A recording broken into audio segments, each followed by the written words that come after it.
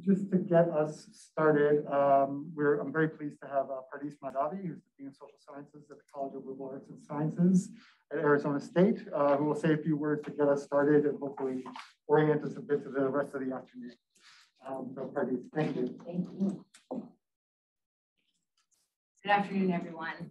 I'm just gonna take off my mask so that our friends who are on the live stream can hear and see me. Um, thank you all for being here with us uh, today. Um, it's a great honor and pleasure to be able to join you, to welcome you um, for this important event. The work of the Center uh, for Work and Democracy is essential to the college overall. So I'm Dean of Social Sciences in the College of Liberal Arts and Sciences, but you know the work that um, Michael and his center are doing really resonates across not just the college, but across the university, and then of course locally and transnationally as well.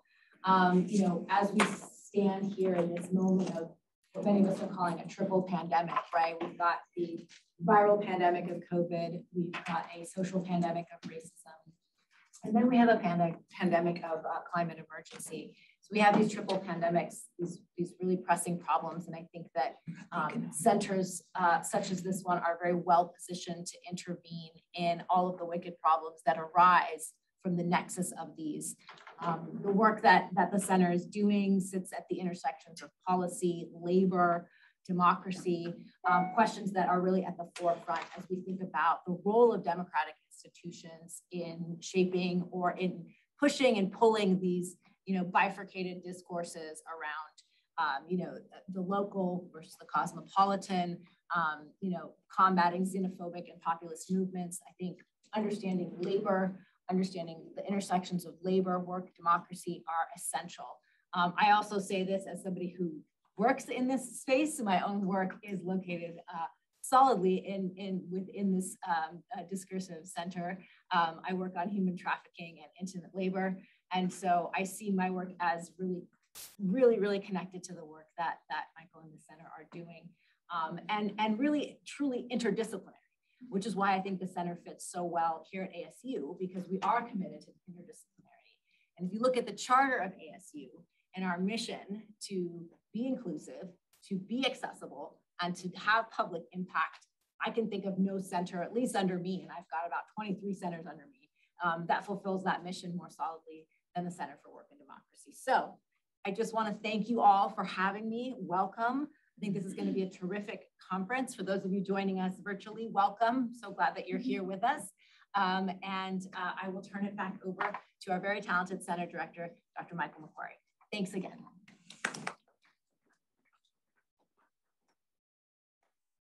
Um, so uh, uh, I'm Michael McQuarrie. I'm the director of the Center for Work and Democracy. And I'm just going to talk a little bit about the center um, as a way of orienting people to what we're doing today. Um, the core thesis of the Center for Work and Democracy is that many of our current ills can be traced to the marginalization of working people's voices on the job, in the public sphere, and in politics. This has happened both because of the way elites, parties, and the judiciary have ring-fenced our political system to exclude regular people, and because the institutions that have historically helped amplify the voices of working people are in a state of decline or collapse. Even before recent attacks on political rights, policymaking was dominated by economic elites and organized interest groups, not voters. Combining exclusion with rapidly accelerating inequality, marginalization, and precarity, and you have a potent recipe for political extremism, uh, violence, and even the organization of major political parties around the necropolitics of deciding who can live and who should die, rather than a competition over how best to provide for all citizens. Workplace struggles have been one of the main levers for working people to use their collective power. Workplace organizing was arguably the lever for bringing down the Soviet Empire between 1980 and 1989 in the form of the Solidarity Movement, and the lever that made the South African apartheid eh, that made South African apartheid unsustainable. Um, in the United States, it produced the most economically inclusive period in U.S. history. Unsurprisingly, it is this form of protest that became the proving ground for managing, channeling, and criminalizing protests and organizing that are to interests. But those techniques are now being used on protesters generally and even civil society organizations that advocate and organize for a more inclusive and equitable society. Viewed from another perspective, the United States has always had an uneasy tension between being a nominally democratic republic and a racial state. So while de facto citizens are managed, channeled, and even criminalized, slave descended Black people and indigenous populations have been the victims of systematic state and private violence, which was the basis for American state and economic development. Working people, increasingly people of color and women, are trapped between the violent methods of social control deployed on the marginalized and the institutional and bureaucratic methods of control that were developed to manage workers. I say all this in the introduction to this conference because you're going to hear about conflicts and protests that we might not intuitively define as labor struggles. Uh, but such um, taxonomic fine pointery is a habitual activity in both academia and movement spaces. But our democracy is in crisis, and indeed our civilization is heading for one. Zero-sum thinking and oppression Olympics will make these catastrophic outcomes more likely. The principle of the center's work is that democracy is only possible if movements for justice, inclusion, and equality are broadly successful. And I believe that the union that is the primary funder and originator of this center has a similar idea. That union is United Healthcare Workers West, which is represented here by its president, Dave Regan, who I believe is joining us virtually. Um, UHW's first priority is uh, naturally to solve the strategic dilemma that confronts uh, the American labor movement and unions generally, uh, but it is also a union that acts as if it represents not just its members, but working people generally. This is evident not least in its support of the research we've been conducting in George Floyd Square, which is the epicenter of the uprising last summer, um, but also evident, for example, in UHW's support for the contested California ballot initiative uh, that would have made uh, gig workers employees and therefore covered by the National Labor Relations Act. So, um, an indigenous movement collective recently asserted that the future is a territory to be defended. And indeed it is. If that defense is to be successful, it will require the work of various movements across a broad geographical and institutional terrain.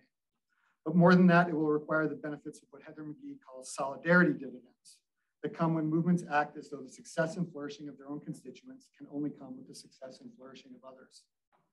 The center is very interested in the labor movement and the dilemmas that confront today's unions, but it has also co-hosted a conference on the co-hosted a conference on the Green New Deal uh, that was organized by Craig Calhoun and Ben Fong, a symposium on women and migrant labor that was organized by Mary Margaret Fonow, um, and it it is uh, involved in research on the George Floyd uprising now. And it does all of those things with that spirit in mind. Okay.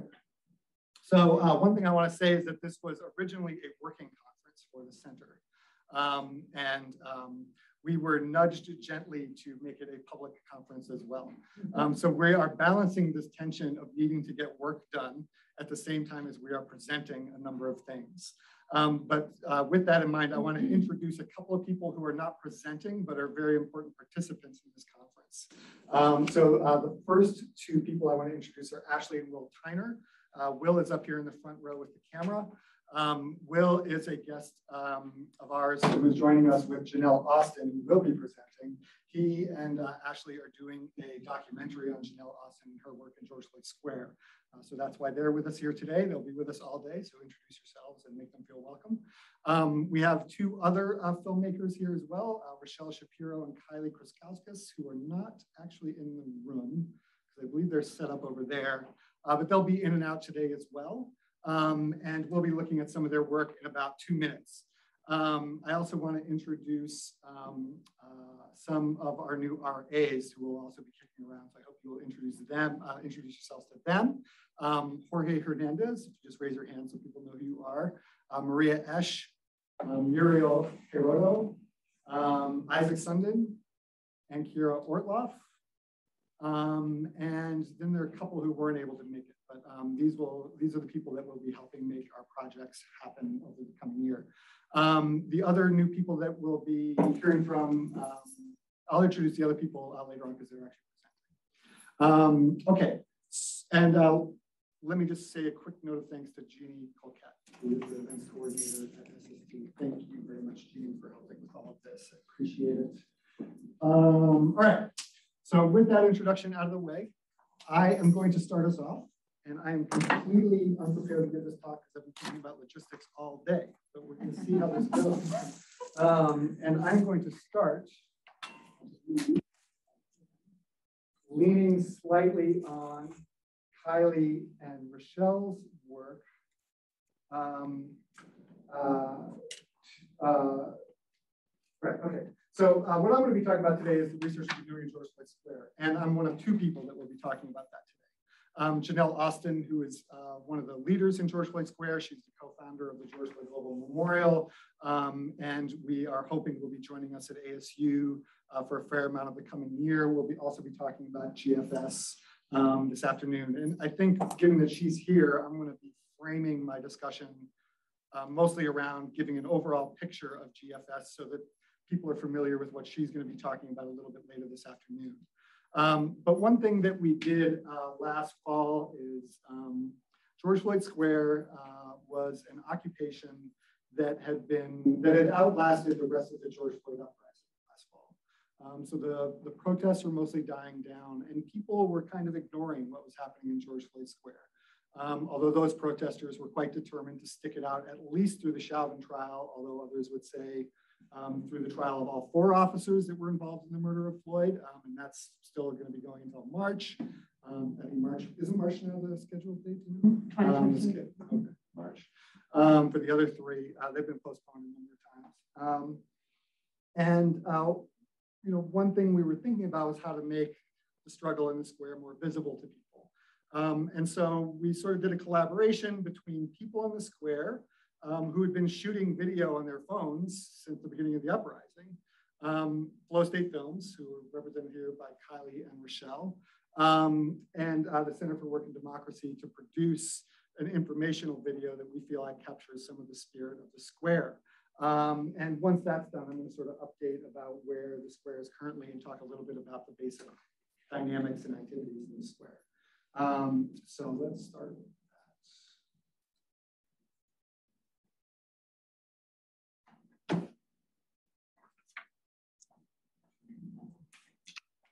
Some of you have probably seen this. I apologize, um, but I'm pretty sure many have not.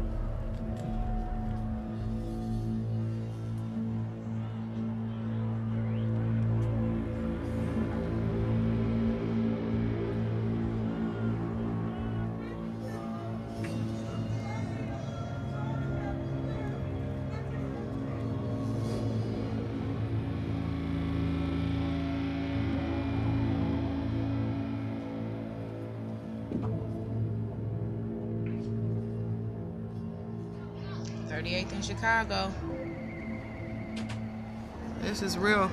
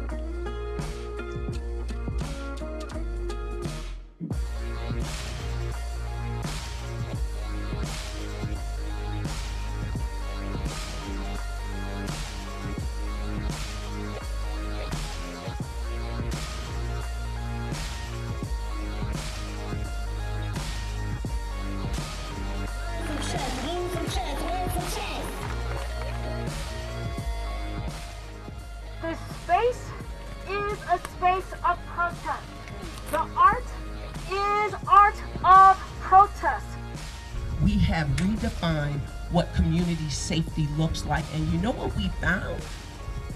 Community brings safety.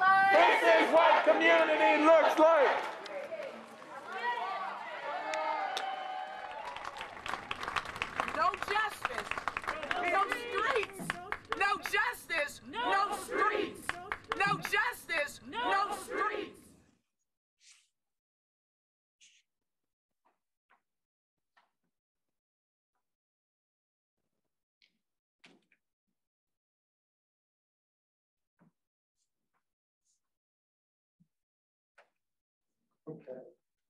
Um, the first thing I'm gonna do is, uh, sort of update where we are. Um, in terms of, uh, this ongoing protest. Um, the, the video sort of ends two hundred days in, um, which is January or, uh, it's around January. Um, and the city had been threatening to reopen the square for, since August, since the middle of August. Um, and it seemed pretty clear that the plan the, over the winter was to assume that the square wouldn't be able to survive the Minneapolis winter, which, I mean, you know, you're talking about negative 30 degree weather, hanging out on a barricade in negative 30 degree weather isn't great. Um, cars become sort of mobile observation units slash heaters slash bedrooms. Um, so that's sort of helpful. But um, the assumption was that It's not showing on the, on this.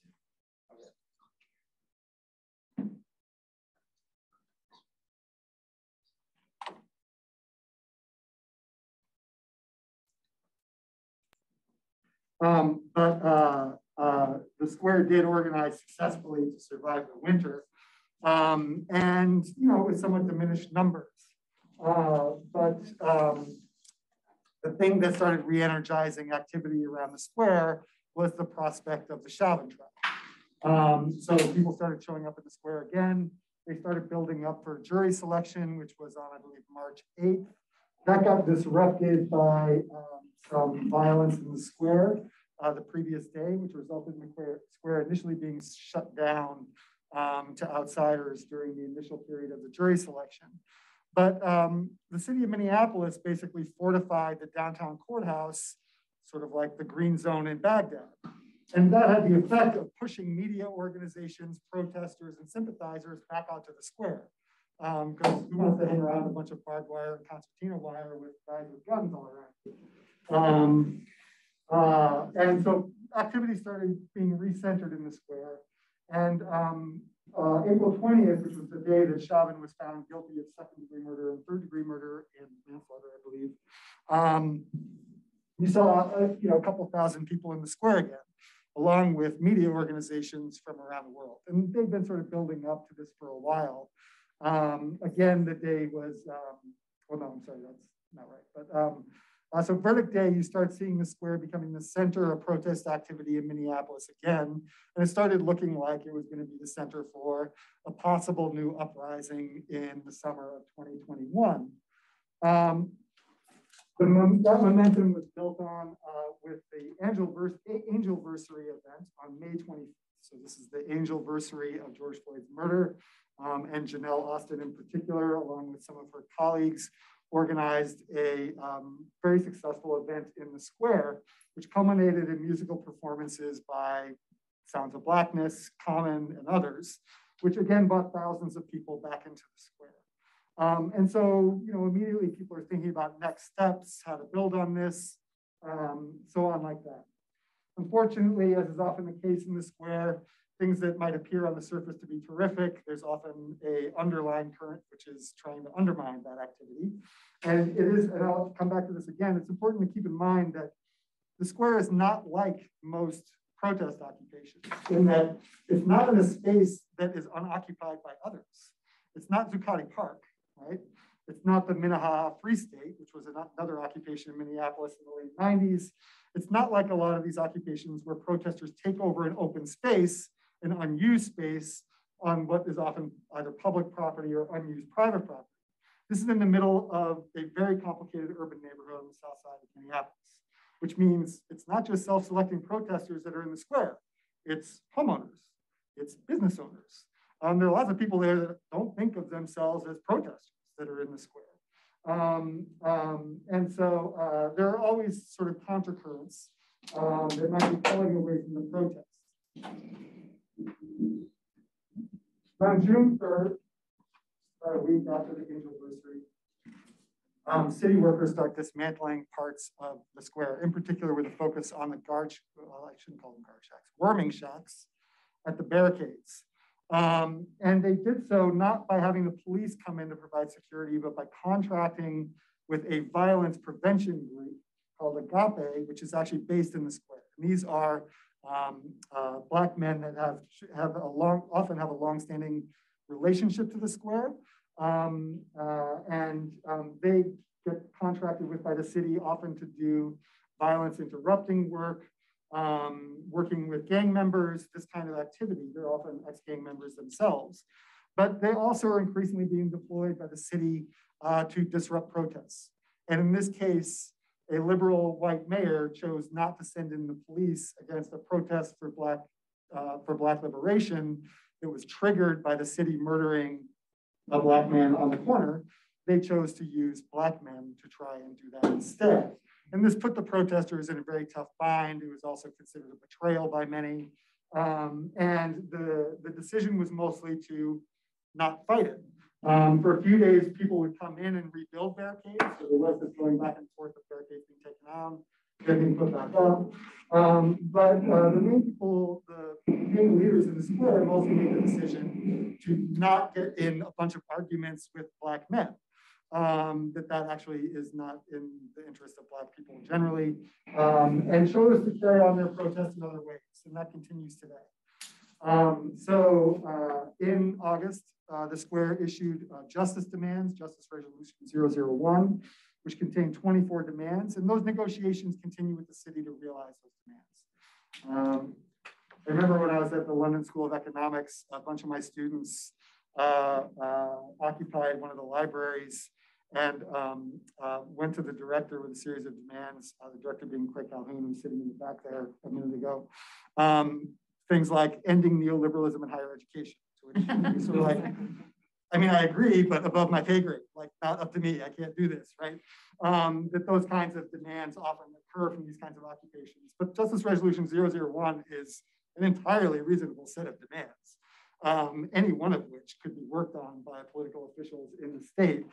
No demands for you know billions of dollars or anything. Um, uh, but the city has mostly either um, strung out the negotiations, obstructed the negotiations, but there's some reason to think that there's been some progress over the last few months. Um, uh, yeah, like that. Um, so the research um, was not intentional, it was serendipitous. Um, I was doing research on street medics as part of a civic care project on the politicization of care.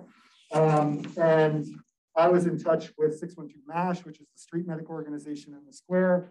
Um, and I uh, knew, I knew about the square and I was taking my daughter to go see it and to drop off a donation for 612 MASH.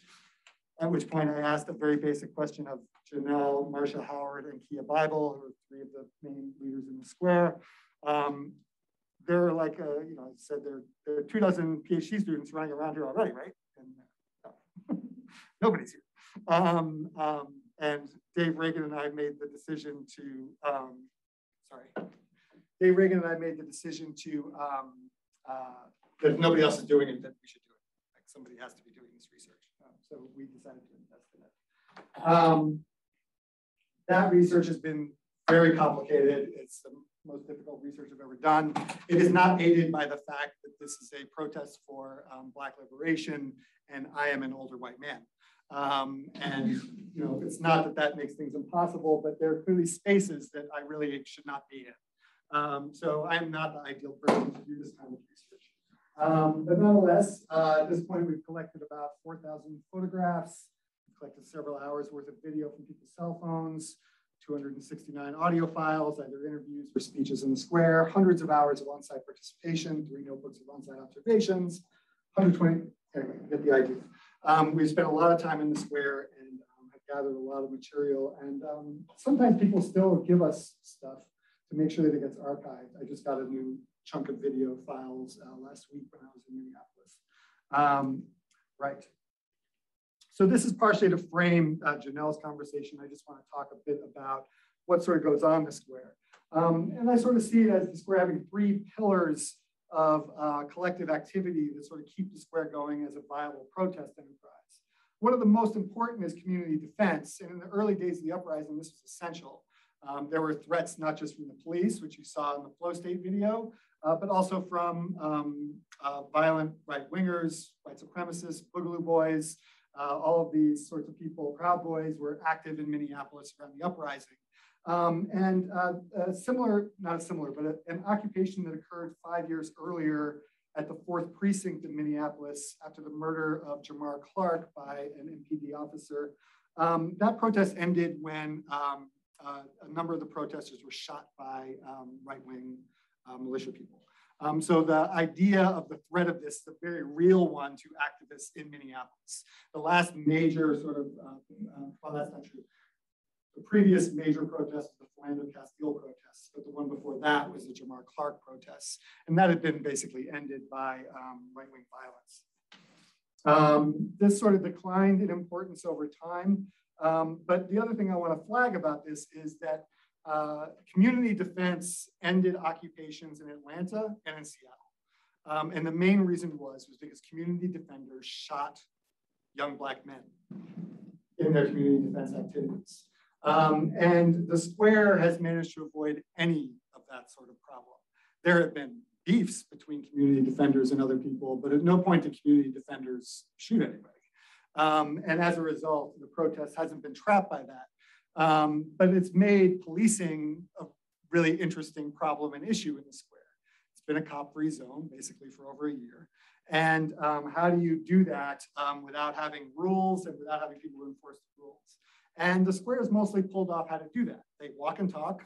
You know, they're very insistent that nobody can make rules, but they model behavior um, and so on like that. And um, the main mechanism that they use to really deal with major threats is mostly information sharing.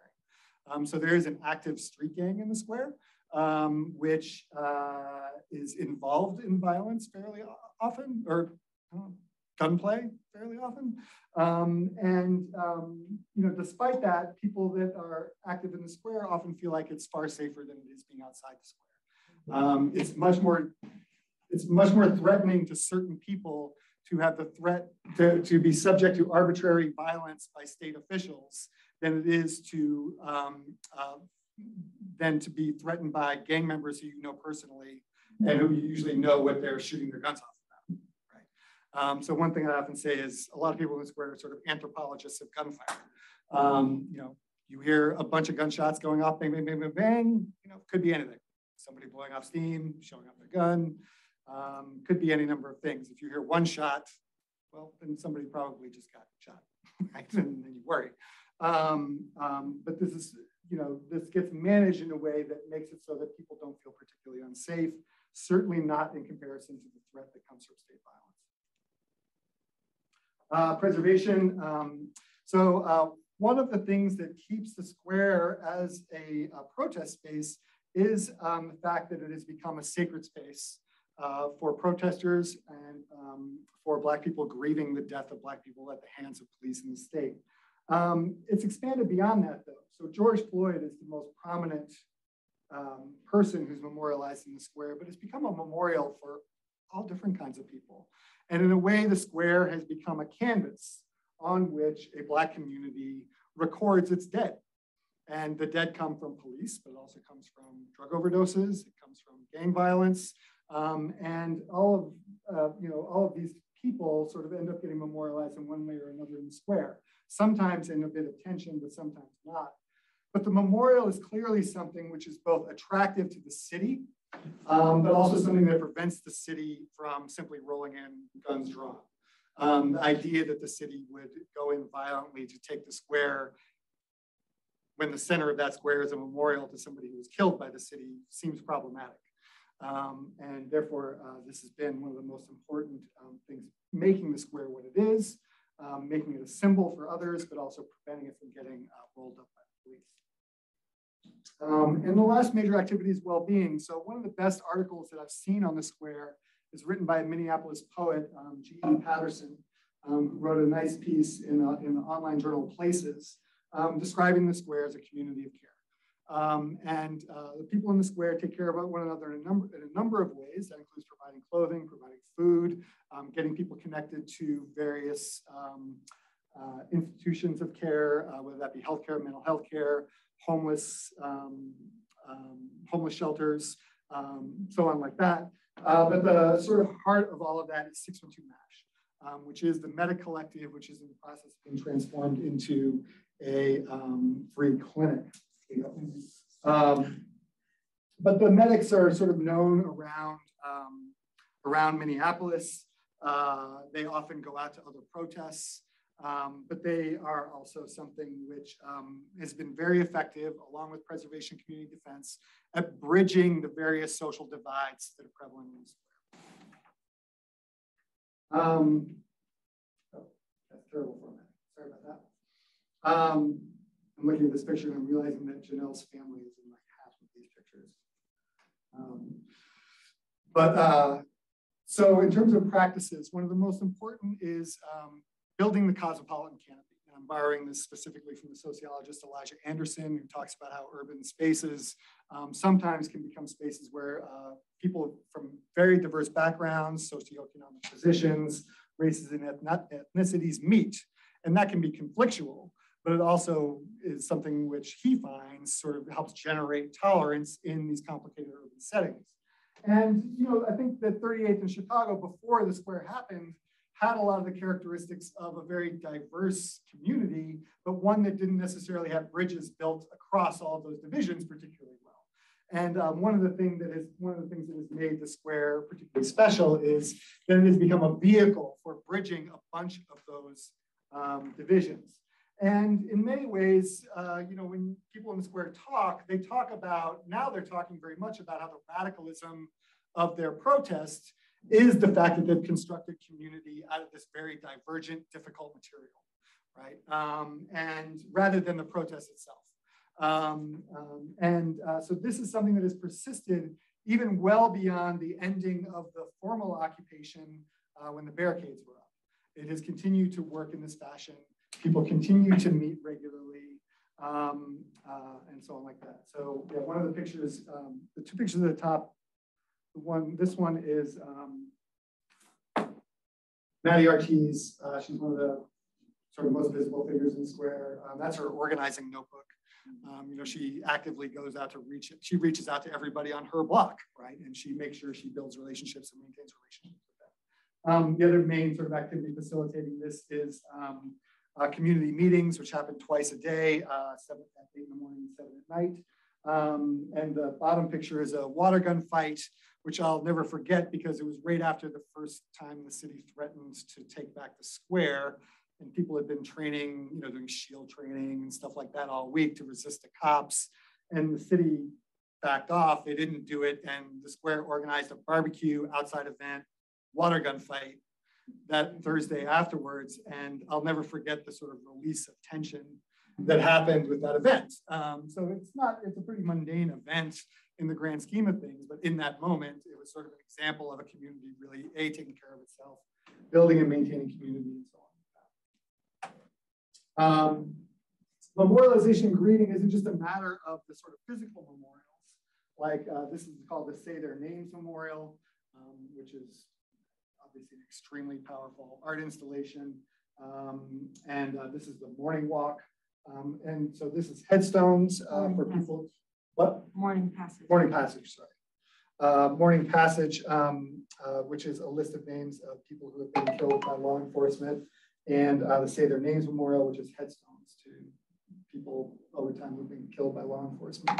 Um, and so both of these um, uh, installations attract a number of people uh, to the space to, and prompts them to treat it as a sacred space, a space of grieving and of memorialization.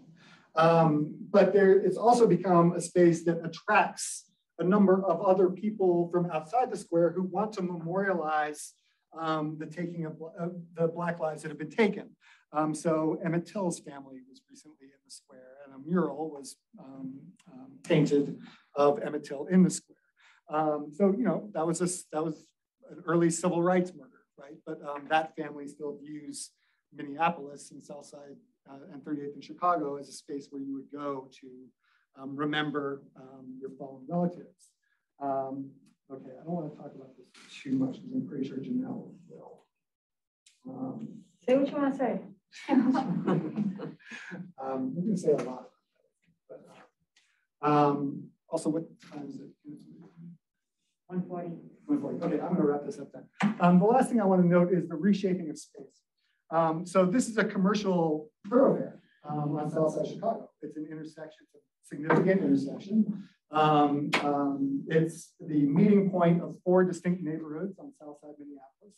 Um, but over time, it, has been sort of turned into something else entirely. And it's inverted the way we normally relate to the street. Um, it's not a place where we, it's not a, um, a um, space of flow that we simply pass through to get to somewhere else or to, you know, pick up something uh, at a store or something like that. It's become a space where people meet. Um, and this sort of ongoing uh, reshaping of space sort of in some ways represents the character of the square in any given moment, but also the accumulated um, uh, things that people have done to sort of transform the space into something that meets their needs um, as a community and meets their needs as protesters. Um, so they've built a number of gardens. Uh, when um, uh, the memorial itself gets maintained on a regular basis, a bunch of planters were built to hold uh, the live plants that were left at offerings, left as offerings at the Floyd Memorial. Um, those planters and the plants in them clearly weren't going to survive the Minneapolis winter. So the builder team then built a greenhouse, which then all the planters would go in and they would all survive the winter. Um, you know, so this sort of constant reshaping of space uh, to make it useful um, for the protest and for the community also indicates kind of an architectural vernacular, I think. It's the sort of way space would be if people actually got to construct it in a way that would serve their community rather than to serve the interests of capital or serve the interests of real estate development or the interests of transportation. Um, and you know, there have been some issues around that. That's that's one of the another one of the very interesting things I find about Square. Um, so let me see, and then protests. Um, so it's not just the protests started in there; it's also that. Um, so this picture was taken when um, uh, anti-fascists in, in Minneapolis were mobilizing against uh, Stop the Steal protests that were taking place at the Capitol. Um, and they had gotten smacked around pretty bad the previous weekend, and they decided they were going to come back and make sure that they won the next struggle. Um, and so they they organized a craft table at which they did a bunch of signs, but they also made a whole bunch of shields. and they went out and confronted the right wing protesters the following week and they clearly came out ahead. Um, and uh, by January 6th, they, the, the protesters at the Stop the Steal protests were outnumbered by the journalists um, that were covering them. Um, another, by the way, effect of this is that when the insurrection at the Capitol happened on January 6th, everybody immediately knew everybody from Minneapolis was there because um, they had all been tracked and all their information was known to everybody in these networks in Minneapolis already.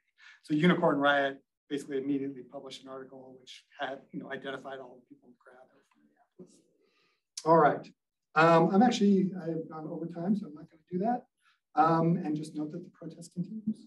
Um, so this was taken after the uh, city came in, but uh, obviously they still have their demands right there painted on the street. Um, all right, thank you very much. Um, so the next uh, person that we're going to have come up is um, June Yulee, I think that she's next on schedule. Yep. Um, and she's gonna be talking about, uh, she- June is, um, uh, a postdoc, uh, in the Center for Work and Democracy. And, um, she's gonna be talking about research we've been doing on strategic efforts to rebuild the American labor.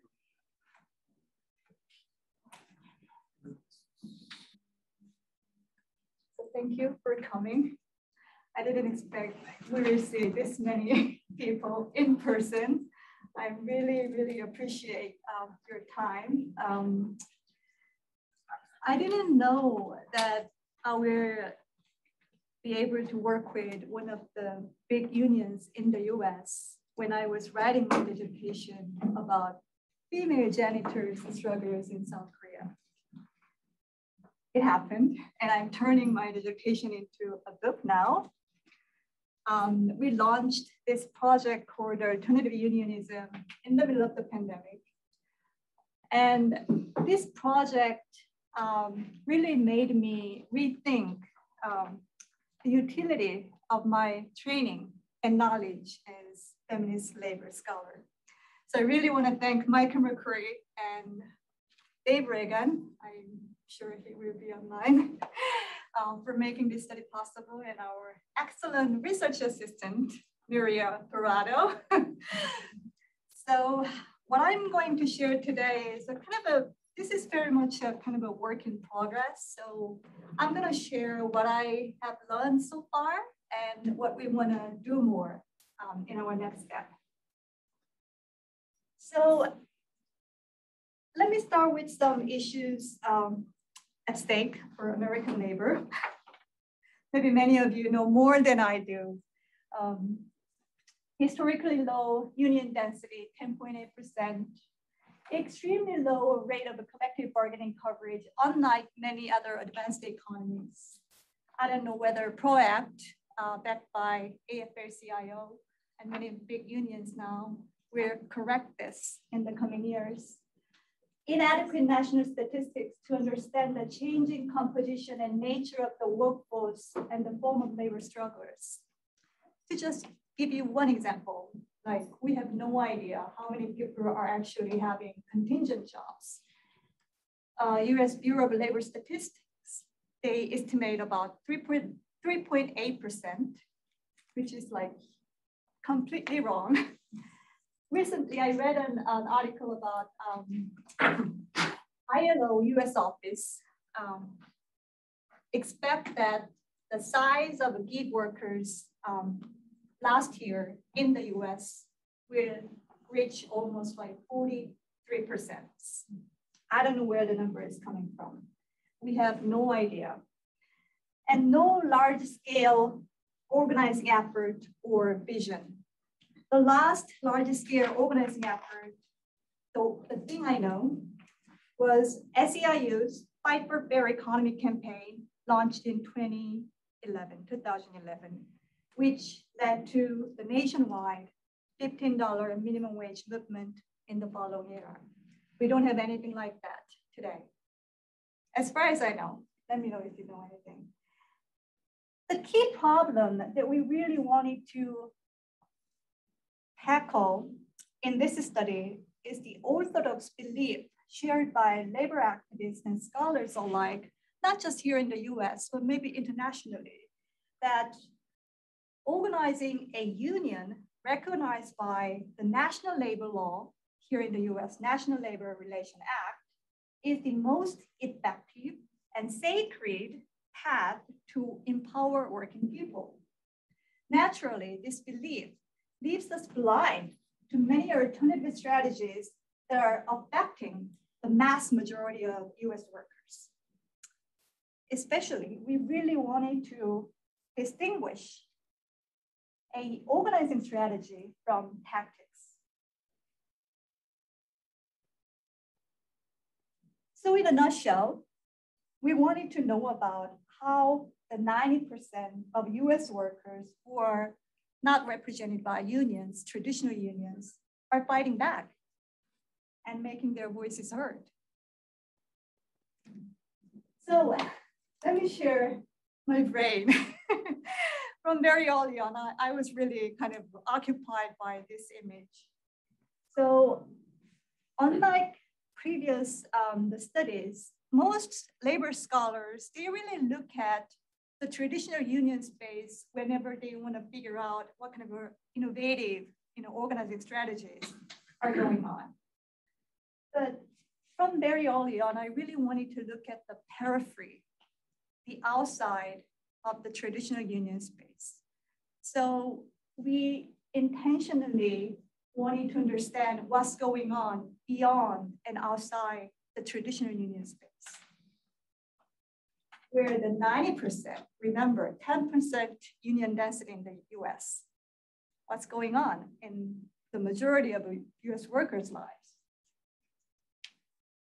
So we needed to define two main keywords, alternative unionism as a strategic approach to the space of working class struggles, wherein unorganized workers search for alternative resources and pathways in building power inside and outside their workplaces.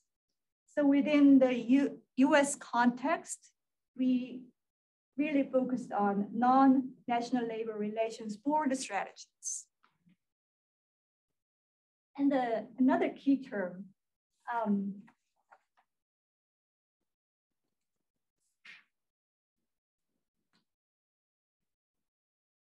believe it or not, I mean, so many labor scholars and activists, I find that they just do not distinguish tactics from organizing strategies.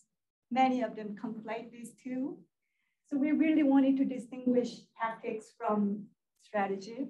So we define the strategy as a vision that lays out a clearly mapped pathway either to achieve greater union density or to enhance the power and voice of working people in politics and workplaces. So we had four main research questions. Um, we wanted to identify the operating, alternative, innovative organizing strategies, especially those proven effective in the past decade. And secondly, um, like labor scholars like Tom Juravich claims that alternative labor organizing operates in different arenas of power, not replacing unions' organizational power, but complementing it. So we ask, what new forms of bargaining power the alternative strategies have exerted in the process of their actions. Mm-hmm. and the third and fourth questions are related. If the strategies have made any concrete impact on the lives of you know, working people, are these impacts channeled into a new infrastructure of labor movement? So here you can see how these four questions are connected. So I call this innovative flow. We can apply this almost to any kind of social movement organizations. So I don't want to name any specific union, but let's imagine like one big major union. they are not interested in alternative labor organizing strategies, which means they are not experimenting with any kind of new bargaining power and they are not making any impacts on the lives of 90% of workers. Of course, they are not generating any kind of new infrastructure of labor movement. I have specific unions in my mind, but I cannot tell. Especially in my context, I'm you know, from South Korea. Um, you can guess.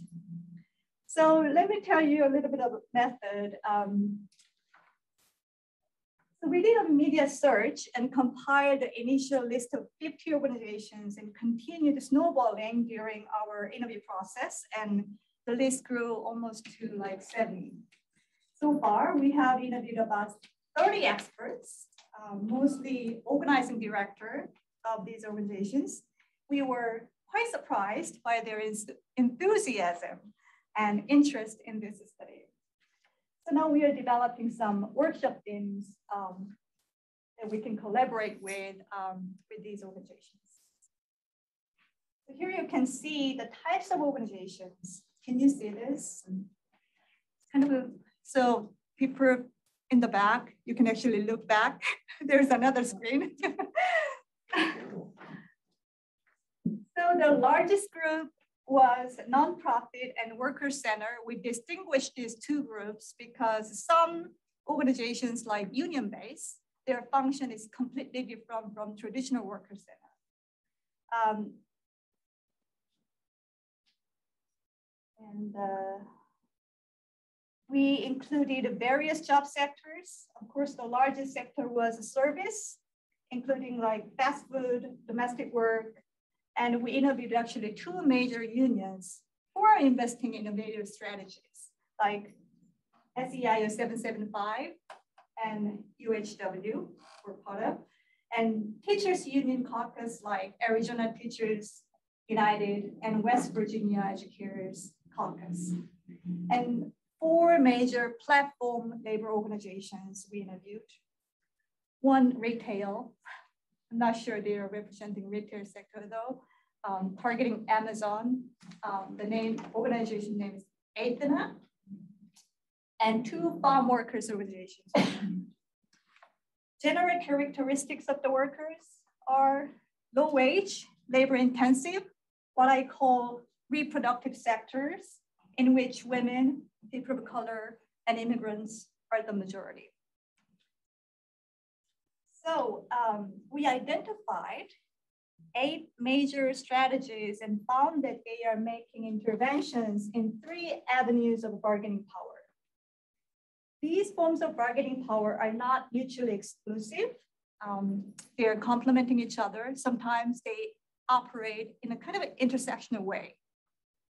Um, so in the first category, political bargaining power, uh, we look at two cases, minimum living wage movement led by Fight for 15, and the second largest kind of category, um, we're trying to um, kind of unpack legislative advocacy. We included um, ballot initiative, domestic workers' bid of rights, and tax to reach campaigns such as Tax Amazon in Seattle.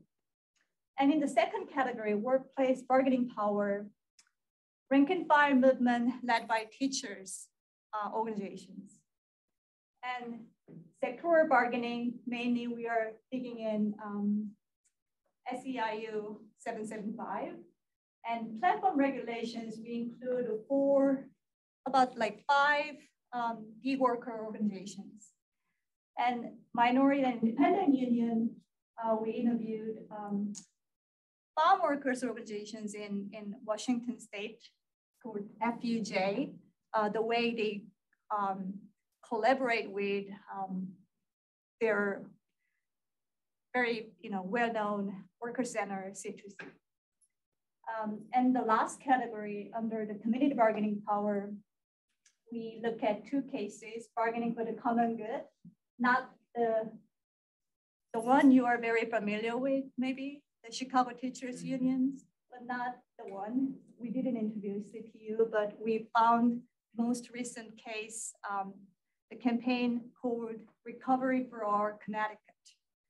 So we included the case in our report. And the last one, supply chain organizing. I was so happy that we had the case in our report we interviewed uh, organization, organization named Migrant Justice. Um, so we kind of completed writing the case analysis. So let me give you a glimpse of how each case looks like.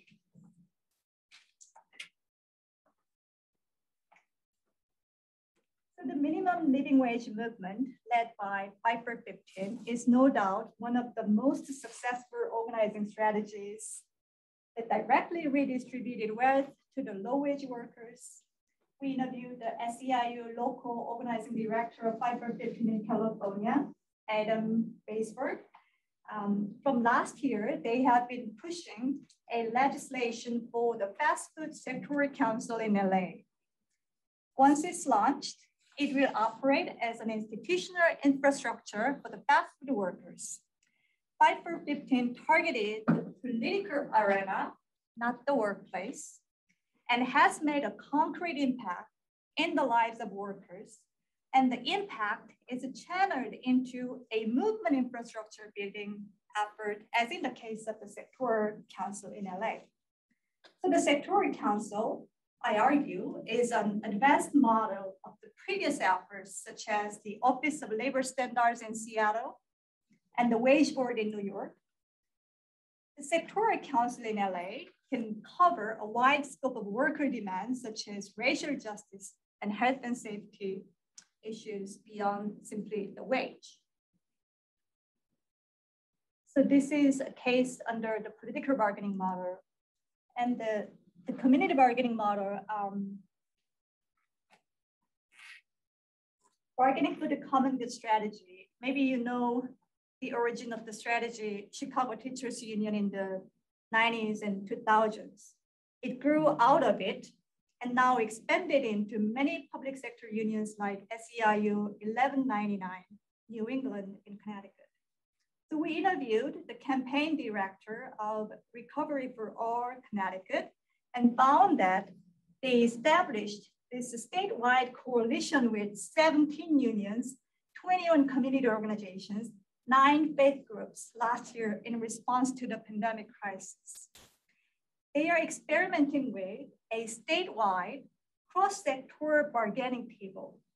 The key development from the original strategy of the CTU is that they can cover across public and private sectors, and the coalition can work as a movement infrastructure for a broader and radical, more radical social movement.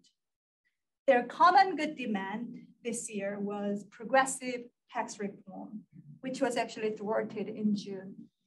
So in this case, they built a concrete movement infrastructure, but no visible outcome yet. I don't think that I can share the other one. this is actually one of my favorite um, case, um, indigenous farmers movement. So maybe I can come back to this when we have a Q&A or something. So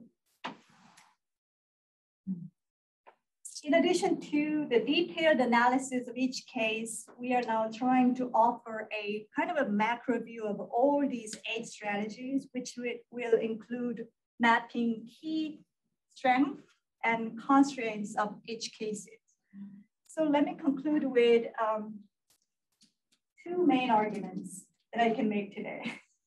The areas left out of the purview and protection of the National Labor Relations Act are actually the space where most promising labor organizing strategies have been experimented on in the past decade.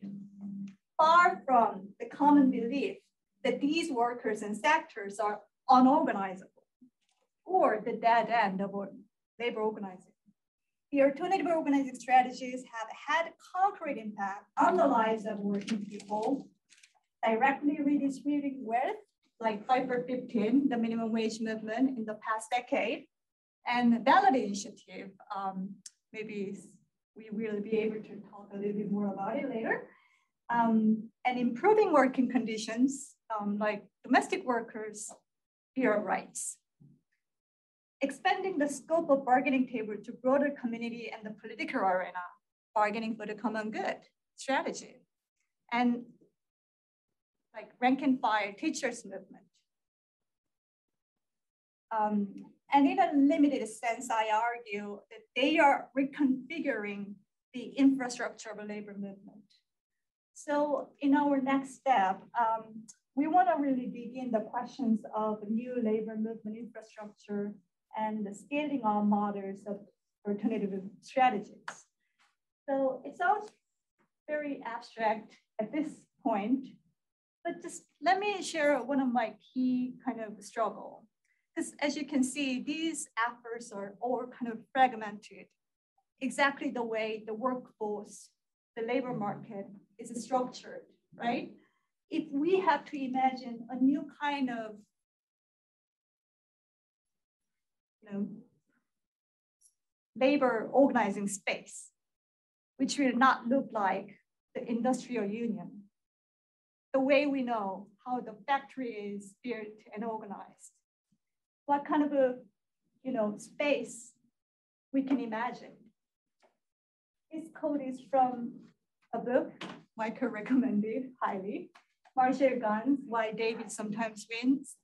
Um, study about United Farm Workers Union. And he says, strategy requires the courage to venture into the unknown, risk failure, say no to current demands. So you, remember this image that really you know, occupied my brain from early on. So remember, if we can connect these small efforts into a larger circle, can we imagine like the space of organized labor can grow? And if we need a new kind of infrastructure of movement, what it will look like. So that's it.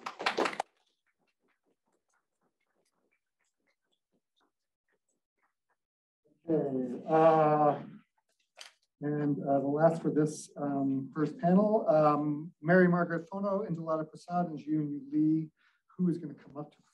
So Indulata is um, a assistant professor in the School of Social Transformation and a friend of the center. Mary Margaret Fonow is emeritus professor in the School of Social Transformation and uh, one of the driving forces that brought the center to ASU. Um, and uh, they have been working on a project on social reproduction and the infrastructure of care. So they will be talking about that now. I'm just going to set the stage a little bit and then my colleagues are going to um, carry on from there. This has been a year-long collaboration of reading articles, of having uh, twice a month meetings, uh, discussing concepts that we are trying to use to critically unpack the notion of essential workers. So essential work has been at the center of the public debate since the outbreak of the global pandemic.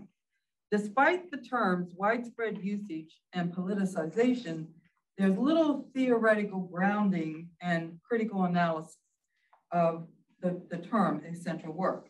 So our project aims to initiate a critical conversation on the notion of essential work situated in the conjuncture of unfolding global protests against neoliberal precarity and racial injustice. In particular, our uh, research aims to offer ethnographic data for the unfolding global dialogue among progressive organizations such as trade unions, feminist organizations, and racial justice groups on reclaiming public service eroded by the neoliberal austerity measures. We situate our understanding within the long history of feminist scholarship on social reproduction and more recent scholarship on the care economy and the infrastructure of care. Uh, we use a transnational and intersectional lens to help us unpack the meaning of essential work in India, South Korea, and the US, and to explore how the experiences of essential work vary by gender, race, class, caste, sexuality, uh, disability. So this is a, we're just throwing around our ideas. We haven't actually, we don't have results. We don't have an argument yet. So this is like trying to unpack uh, the notion of essential workers. So essential workers are workers. This is the um, Department of Labor's definition. So essential workers are workers on the front line of providing services and products that maintain the safety and well-being of the general population and include a wide range of occupations in healthcare, social services, education, transportation, public safety, agriculture, and food service. One in three of these jobs are held by women, um, and the, these jobs that fall within the category of essential work. This is particularly true for women of color. For example, in the US, the healthcare sector, which, is, which was the fastest growing sector before the pandemic, women made up 77% of the workers, placing them at a disproportionately high risk for contacting the virus. And we saw the um, statistics play out in terms of the racial disparities um, among the people who died from COVID. But um, in uh, there's a website called On the Front Line that is a joint investigative journal uh, uh, uh effort by The Guardian and Kaiser Health Newsletter. And if you go to that website, you'll see uh, little vignettes of all the healthcare workers that have died from COVID. And in their estimation that this is conservative, um, 3,500 um, healthcare workers, mostly nurses and health support workers, uh, died. One in six nurses tested positive for COVID.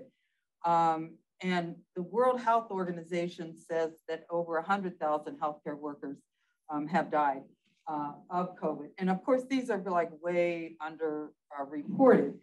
So the um, range of occupations that fall under healthcare worker is everything from doctors, nurses, therapists, to licensed practical nurses, personal care aides, hospital orderlies.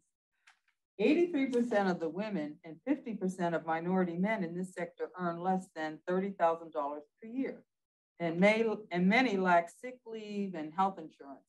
Not surprisingly, the pandemic hit workers of color disproportionately, but at a much younger age. And one of the um, uh, startling statistics in this particular study of who died had to do with age. And the average age of the healthcare worker that died was 60, which is much younger than the uh, national average of people who died. So that means these were younger workers who left behind families um, who were active in their uh, unions or in their churches or in their community organizations. So these healthcare workers left a big hole um, in, in society.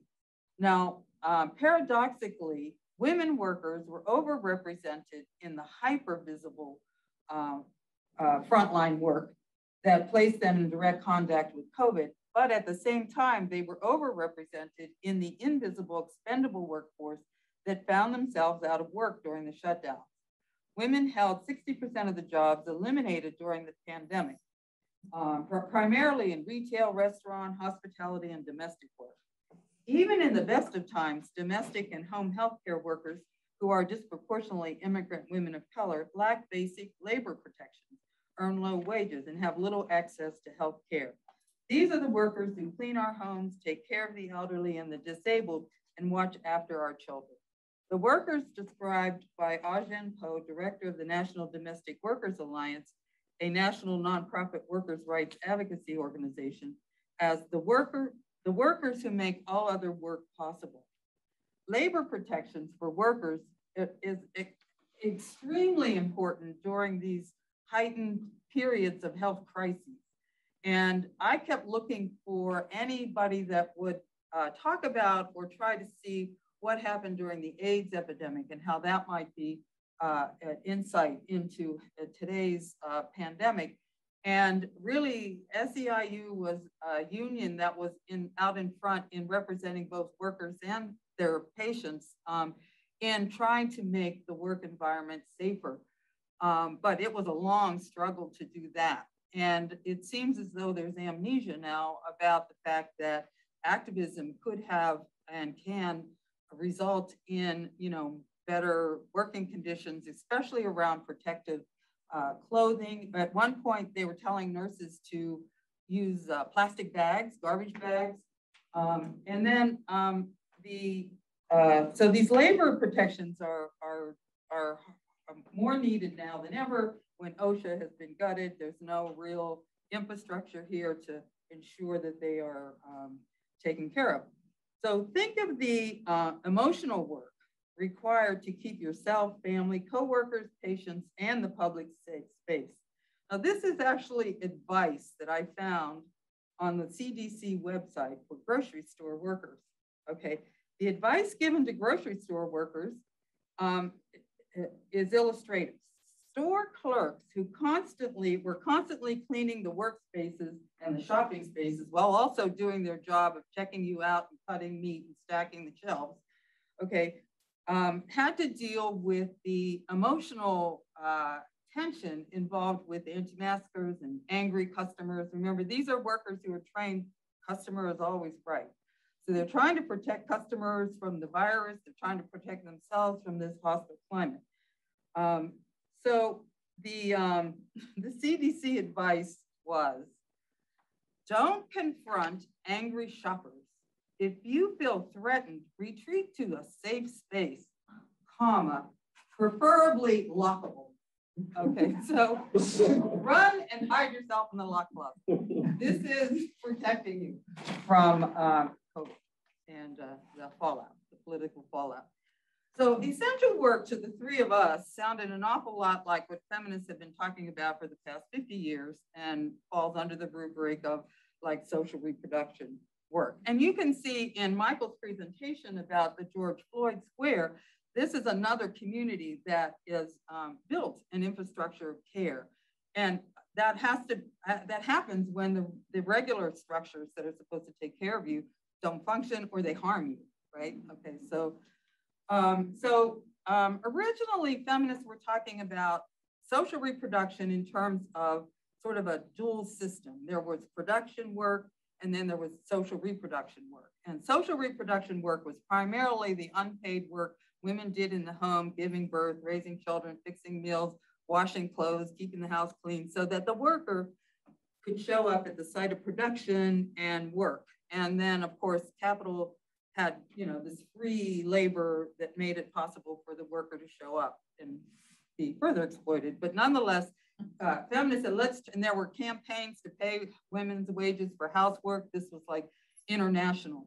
Well, that's 40, 45 years ago. Okay, so over time, the theorizing about social reproduction has gotten a lot more sophisticated. And so today, uh, thinking around social reproduction involves not just those domestic things, but any um, activity or service that nourishes and sustains the population. So it can be schools and hospitals and sanitation. It can be um, uh, much broader than just what happens in the domestic sphere. When women start to go into the labor force, of course, the jobs that they went into primarily were the ones that seemed a familiar uh, part of the domestic social reproduction scene. So women's um, labor force participation when, when these services are commodified and, and outsourced, then women uh, are employed in them at lower wages, often in uh, non-unionized sectors. So, um, uh, and then more recently under the COVID, you saw, nobody thinks anymore of these as two separate systems. They overlap and in some cases merge. So during the pandemic, women who were the ones who managed to keep their jobs and could work from home, right, are also, if they have children who are home from school, you know, it's like there's there's a blurring there. There's no um, uh, demarcation between the two spheres. Okay, so social reproduction is one of the concepts that we're working with. The other concept, and this is a word you heard already in here, is infrastructure. Okay, who knew infrastructure was going to become a household word, right? I mean, it's just in the news, it's in politics, everybody is talking about um, the infrastructure. So we've been collectively rethinking um, social reproduction that operates um, through uh, the infrastructure of care. Now, when I say infrastructure, what do you, what's the first thing that comes to your mind when you think, somebody just say, bridges, bridges roads, right? Uh, reservoirs, maybe. Uh, now they talk about uh, cables and um, you know and, uh, broadband. Okay, so that's infrastructure: roads, bridges, power grids, reservoirs, etc. Critical studies on infrastructure have expanded our ideas about infrastructure, and our work has been influenced by Steve Jackson's notion of broken world thinking as a way to understand the infrastructural labor focusing more on repair, recycling, reproduction, and care.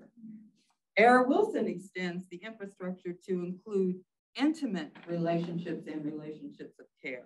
Think about like how intimacy is connected to communications infrastructure, like dating apps, uh, even the old fashioned days talking on the phone for hours. You know, like there's a relationship between how this infrastructure is organized and how we relate to each other, including intimate relationships. Very interesting and clever kind of theorizing.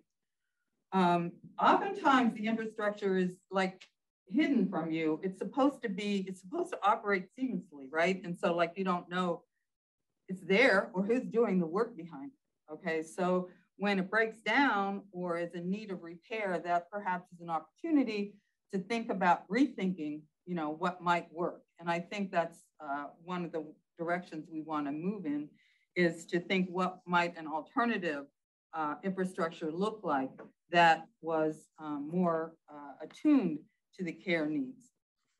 Um, okay, so um, the other angle is the people, um, you know, the Biden original, the, uh, Biden's infrastructure plan, it was supposed to include the social reproduction and the physical uh, infrastructure, look how quickly they got separated. Now they're fighting each other for a little bit of space. Okay, so it didn't take but half a second. And then all those senators, how many of them stayed home and did social reproductive work? No. So they're like, what? What? You know, daycare, that's not infrastructure. Taking care of kids. No, it's bridges, it's, it's water, it's roads. Um, and then it, it's sold on the idea that there'll be high paying jobs all right, if, for the infrastructure repair. And I'm all for infrastructure repair and high paying jobs. Guess how many women are employed in construction today? Less than 10%. In the skilled trades, less than 5%.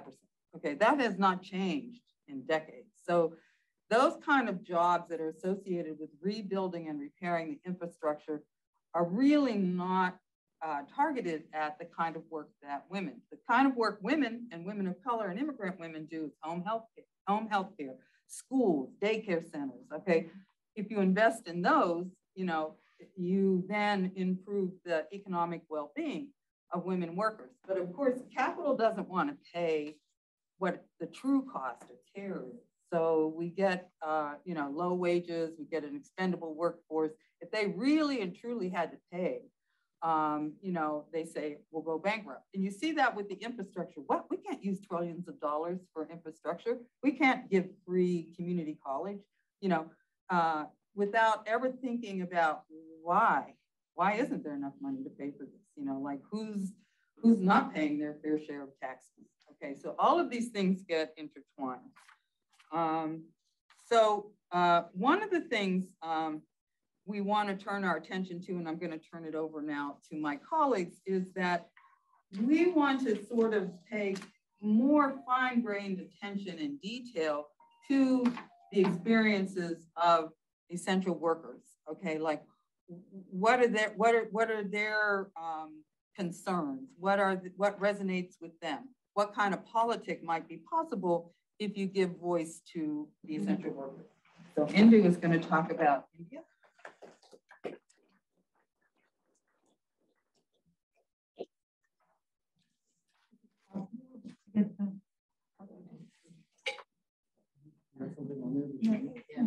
Just one picture.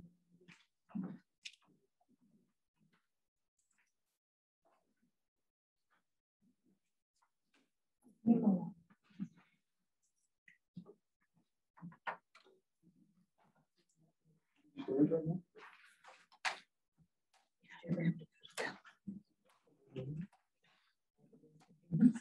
yeah, of course.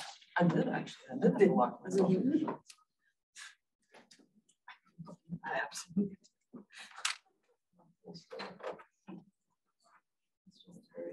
Very good. Very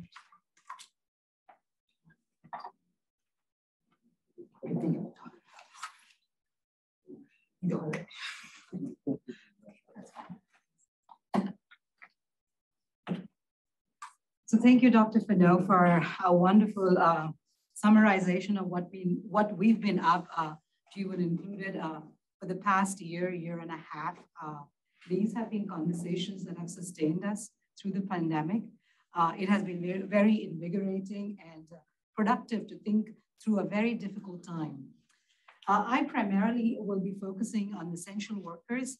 And uh, in the context of India, um, some of the things that, that came up for me and, and, and uh, kind of provide two vignettes that kind of uh, helps one, a very personal one and one, uh, uh, a one that has been relayed to me through colleagues in India who have been engaged in essential work and, and through conversations that have been going on for over a year, year and a half. So invisible, and I titled this section as Invisible Essential Workers in India. It's a work in progress, uh, something that I, we are thinking through.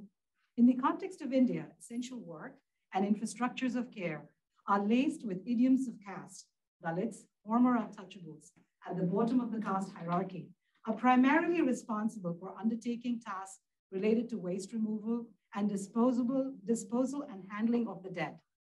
Um, terms that are normally come, have come to be associated with the pandemic, such as quarantine, social distance, and physical distance, have long constituted the lexicon of untouchability. Although discrimination based on the concept that some people are untouchable because of their association with quote unquote polluting forms of labor has been illegal since 1950, untouchability remains socially relevant and widely practiced in India and continues to dictate Dalit lives and lived experiences.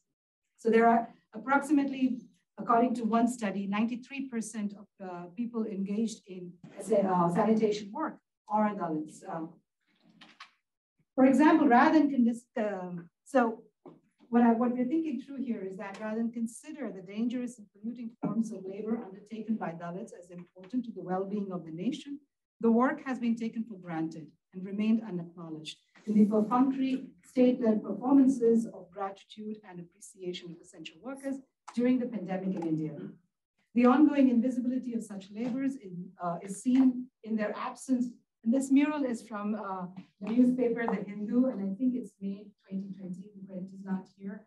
Um, but um, what you see in this uh, mural that is being painted uh, at that time, I think it's July 2020, 2020, is that you see the picture of a doctor, a healthcare professional, a policeman, a journalist.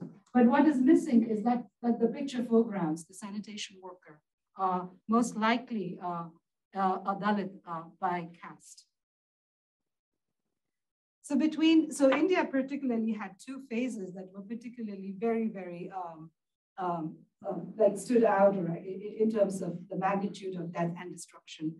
Um, was uh, the, the, the, migration that happened, the, uh, rural urban, uh, the urban rural migration that happened during uh, the first phase of the pandemic. Um, and, and the migration was referred to as one of the largest ever since the partition. Um, so that was that. And the second one, which uh, I will be talking about today, is the one that happened between May, April and May. Uh, that was very devastating. So in reading the obituary of a close family member in May 2021, I realized the salience of two people who most likely were the only ones to personally attend to the person, uh, to be next to them, and as, as uh, they inched towards their death, laboring to breathe. They conveyed via written notes that their throat was parched and that they did not have food or water to drink um, in the government hospital uh, that they were admitted to.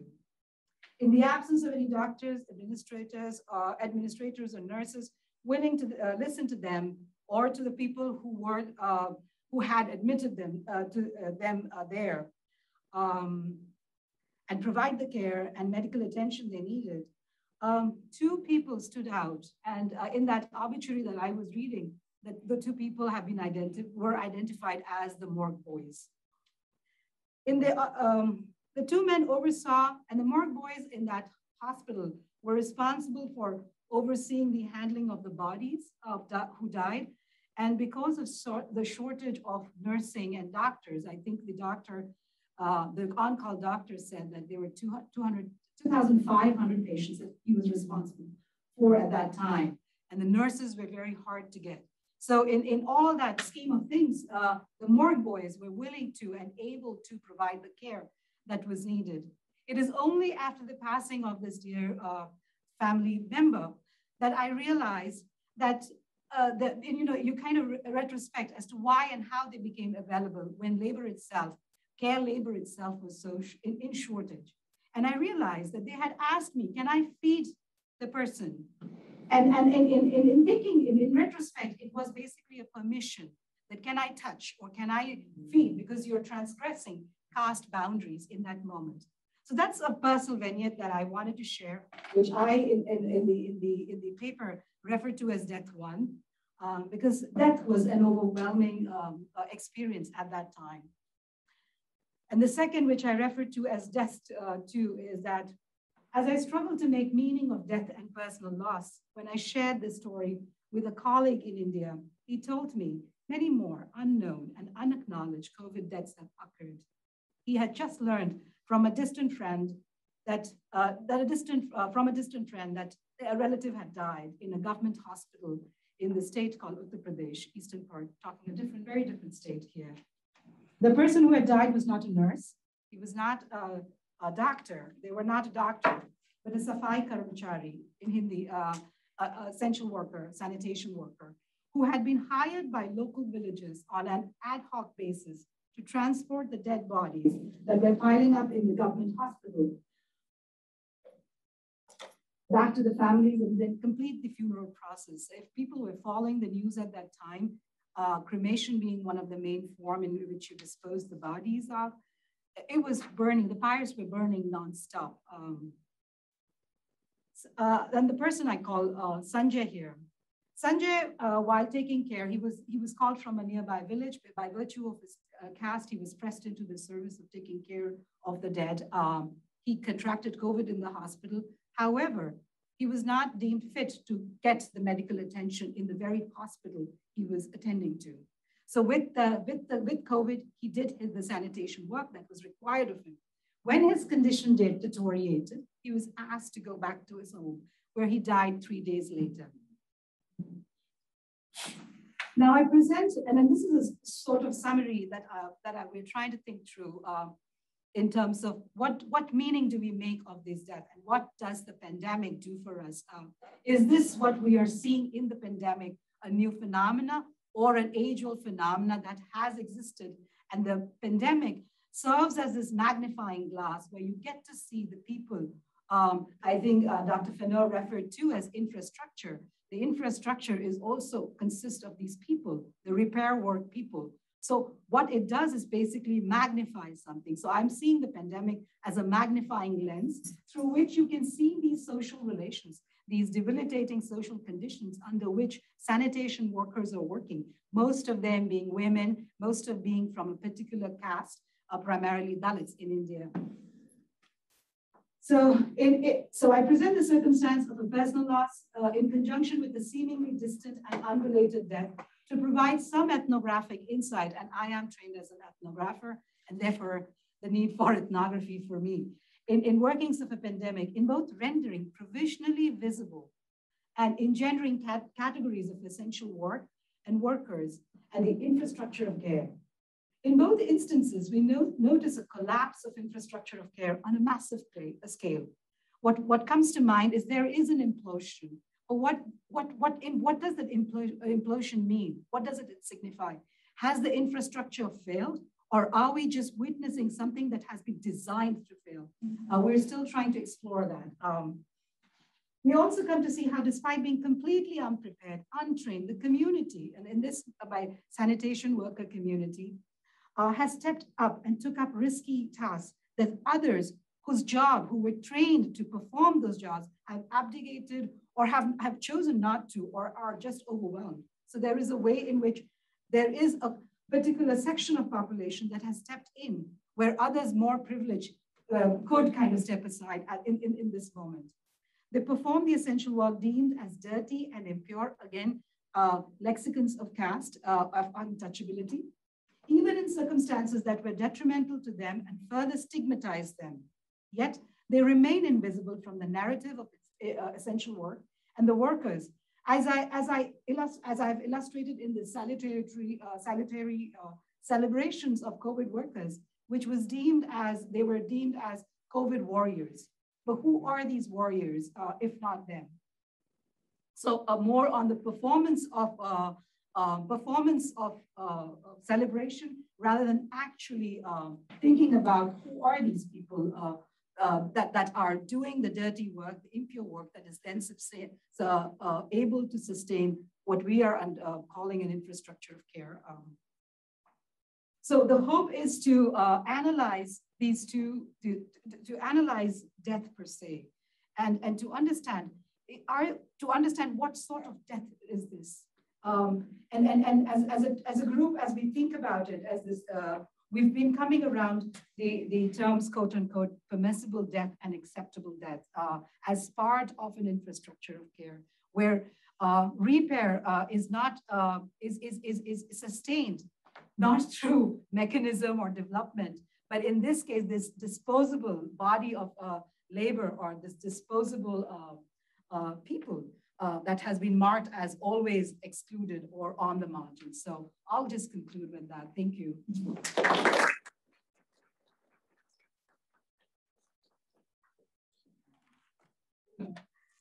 I'm not sure I can actually um, add my portion to this. Uh, do we have time? No. You should present. And you said you should do that. Yeah, you should. We we need to hear you.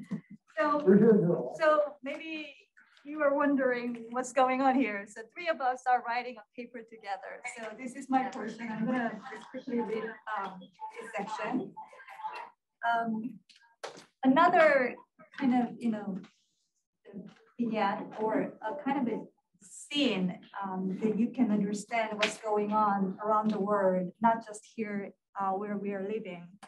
Um, in the midst of the summer heat wave and the world-class social lockdown, a middle-aged female janitor finished her workday lying on the floor in the dormitory building where 190 students resided, commuting, commuting to the main campus of the Seoul National University. The media and the university authority, including a few local professors, responded to the premature death of a janitor in the dormitory building frivolously, raising concerns on the cause of her death. She was not infected with the COVID-19 and considered relatively young and healthy among the janitorial workers in the university. The medical diagnosis of her death was myocardial infarction, you know, heart attack, a common symptom of overwork that caused numerous deaths of delivery workers and nurses in the country even before the pandemic crisis. A social diagnosis is so complex that it will be settled between the employer side, the remaining family members, and the labor union. Janitorial work is socially considered easy and suitable for middle-aged and elderly women because cleaning does not require any specific skills. Further, it requires intimate and familiar feeling as people feel most comfortable when public restrooms are cleaned by Korean women, especially older women. Unlike other sectors such as restaurant, agriculture, and sex work, where the number of migrants keeps increasing in South Korea, janitorial work is conducted entirely by Native Korean women. With the added social necessity under the pandemic, the intensity of commodified cleaning labor that includes picking up used masks, sorting out plastic containers of delivered foods, and sanitizing all the areas people touch could lead a relatively healthy woman in her 50s to death. She cleaned the dormitory building housing 190 students alone, covering all the dorm rooms, bathrooms, and common areas. Her husband commented in an interview that she used to groan about exponentially increased the size of trash and recyclable as the lockdown restricted students' mobility for a month. So she was a labor union member and employer directly employed directly by the university. So none of the privileges enjoyed only by a small fraction of workers in the country, the category of a unionized regular worker could protect her from the country's labor competitive edge, overworking to death. In Korean, kwarosa. This story still hides some critical social dimensions of the janitor's death in the summer of 2021. As the pandemic news continues to dominate the media headlines, the hyper-visualized numbers chosen carefully through the predetermined political priorities by the government authorities, including newly empowered medical experts, shape the ways we see, feel, and navigate the world. As the knowledge of infection and death is hyper-visualized in numeric form, the human experience of life and death has been more remote and, and inaccessible, inaccessible for many. Certain forms of life and death fail to register to the new social knowledge and are permanently delayed to be known or felt. So we call this a slippery category of knowledge of human life disarticulated in the pandemic time, permissible death. On the one hand, death became knowable in the determined social scale worldwide. On the other hand, many forms of unregistered loss are not only unscalable, but becoming socially permissible. How are the transnational knowledge roots of inclusion, exclusion determined? which death is permitted to be unknown, what forms of life is worth to be protected and cared for. In the seamless operation of vaccine production and circulation worldwide, what we notice is the organized discrepancies that are reconfiguring the spaces of transnational. Certain areas and deaths never be soundly connected to the global circuit of the knowledge of life potential. That is what we call social reproduction potential of the globalized humanity.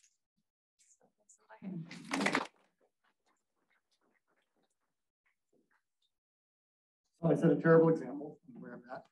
Um, so we are running a bit behind, but I do want to give people the opportunity to ask uh, the panelists a couple of questions, um, and then we're going to take a relatively quick break, and we're going to move into introducing the Center Fellows, uh, which is the next panel. I also want to encourage everybody to have a sandwich. Um, we have extra sandwiches. If you have not had one, please do.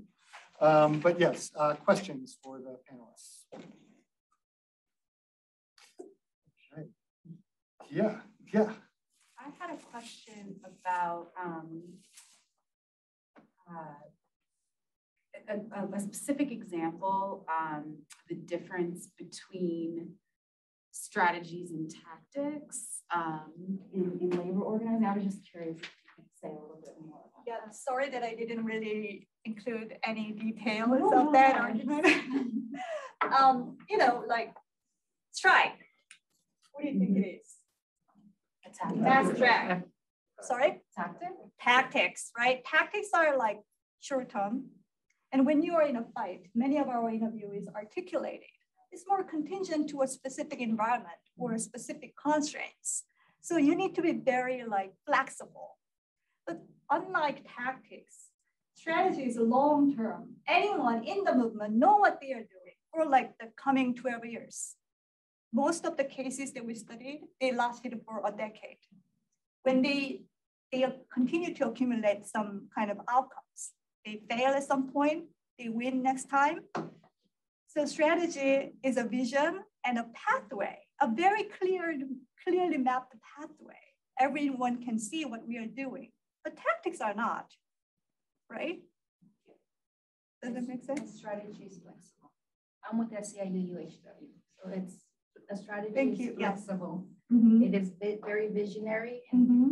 you're, you're adapting to the to the, the cost, you're adapting to the reality. This is a distinction that we talk about a lot internally. And mm -hmm. you know, mm-hmm. it can get confusing, but I mean, one thing that's very clear is that, um, and that motivates June's discussion, is that a lot of the labor is in crisis, The labor movement in crisis and what we sort of find and what we're reacting to is, is um, what we see as a sort of interminable tactical discussion amongst people that are trying to think a way out of labor's crisis and very little discussion of strategy. And that is a conversation that we want to facilitate um, between union leaders, between activists and academics, um, people like Lisbeth, people like Dave. Um, um, but it's also one that we feel like is really kind of missing at this moment. Um, and, you know, as Dave Regan, who I believe is still with us, um, and will be with us later for sure, um, you know, he'll often point out that the labor movement's on the clock, right? Like if we don't figure out a strategic way out of the binds and dilemmas of the labor movement, there's not going to be much of a labor movement pretty soon. Um, so it's, it's one of the imperative pieces of work that we have at the center. But June just gave a very good demarcation of how we think about the difference. Um, and that's clearer than most of our conversations. So, yeah. so I know as a feminist, I really had a hard time to really use this kind of language in a very militaristic kind of, you know, we always have to imagine a kind of a war situation, right? A fight. What if it's not a fight? What if it's something like creating something completely new, new organism of labor, you know, movement for workers' lives? So we are really kind of constrained by the traditional languages. And another book in this summer that really inspired me, maybe many of you know, um, Adrienne Maree Brown's Emergent Strategies. Maybe that book is more relevant to many young social movement activists. That's a book actually that I've seen passed around in, in George Floyd Square.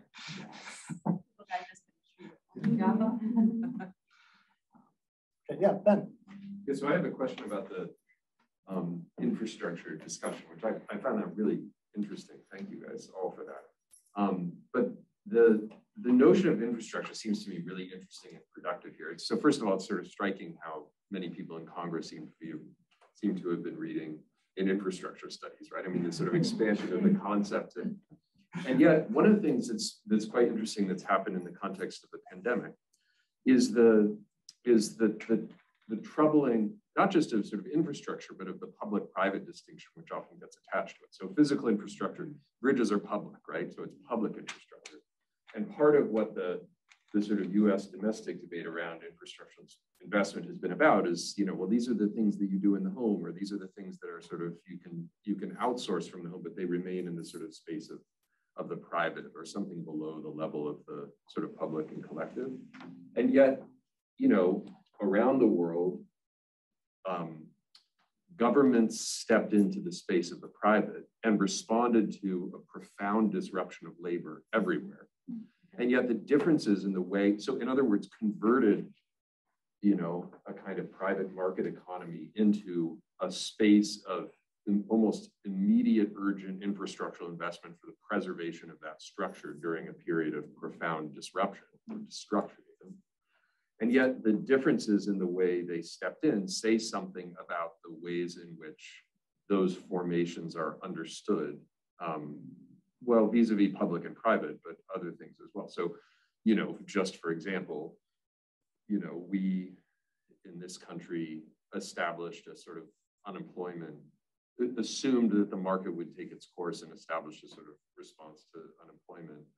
You know, the first response that was taken in South Africa was to immediately invest in, in um, subsidies for childcare, basically, to, and to generalize them, so to make them. So anyway, I just wonder whether that's come into what you've looked at, because in a sense, it's a crumbling infrastructure in the context of the pandemic, which makes it visible and, and brings up questions about what is rightly left to sort of natural or naturalized forms of association that are sort of private or quasi-private versus the sort of um, structured and structural and reproductively structural commitments of, of um, you know, of sociocultural, political, and economic regimes um, that, that in effect hold things still and suddenly have to acknowledge that when when everything stops staying in place and the bottom falls out underneath it completely. I'm not, this is one of the things we're trying to figure out. And like we're talking across three very different countries that are facing similar circumstances and responding differently. Um, so I'm not really, I, the whole thing about the, um, in the US, you know, it's the profit motive. The investment in the infrastructure is to ensure that goods are transported or, you know, it's not for the public good. It's for, in the private sector, it's for making money. And if you can't make money off of it, it, you know, isn't something under your purview and it's left to the people who are marginalized and left out of the, the, the distribution of goods and services to come up with some new strategy for achieving them. We're not really sure. We're hoping that we can come up with some crazy new way of thinking about infrastructure. Because my worry is everything now is about infrastructure. What does infrastructure really mean? And you know, how does it vary across countries? I know in comparing the US, Canada, Australia, um, and uh, Britain, the poverty rates in the US are often attributed to single heads of households. Okay, so the, the having a single mother raise kids is it becomes the cause of poverty. If you look in other countries, Norwegian countries, the same number of women um, are single parents, but they don't have that same rate of poverty because they have a infrastructure of childcare and creches and subsidized leave and you know so like that's one way you can look at shoring up. But you know that that involves taking on capitalism. I mean it's that's why it's so hard to do here Um. So the literature that I've been reading in and the ethnography that I have been following, um, what happens when infrastructure breaks? So there is a pipes uh, um, that has broken, and so who gets called in? And it usually follows, like in the case that I'm looking at, it usually follows that while the technology is there to construct infrastructure, to maintain that infrastructure, it's usually particular bodies and labor. So I'm not sure if I'm answering the question, but it seems that somewhere, and I think it comes back to the conversation we were having yesterday about this notion of repair, because infrastructure needs to be maintained. So the notion of repair came up, but um, again, what does repair look like in particular social political locations and uh, what constitutes repair? For me, um, from the ethnography that I'm looking from, it seems that it is basically reproducing age-old forms of manual scavenging. So the critique from manual scavengers or Safai Karamcharis, sanitation workers come from is uh, you cannot be, go on building toilets. You have to invest in how improve the mechanism that can then call for automation, automation of some of the uh, how it's cleaned or maintained. Because some of the infrastructure that is being put in place is reconstituting old forms of uh, labor that has been very uh, discriminatory. So I don't know if I'm answering your question, but this is weird in how um, what is happening in India at this uh, moment, where there is a critique from the uh, sanitation workers saying you constructing more bathrooms or toilets is not the answer.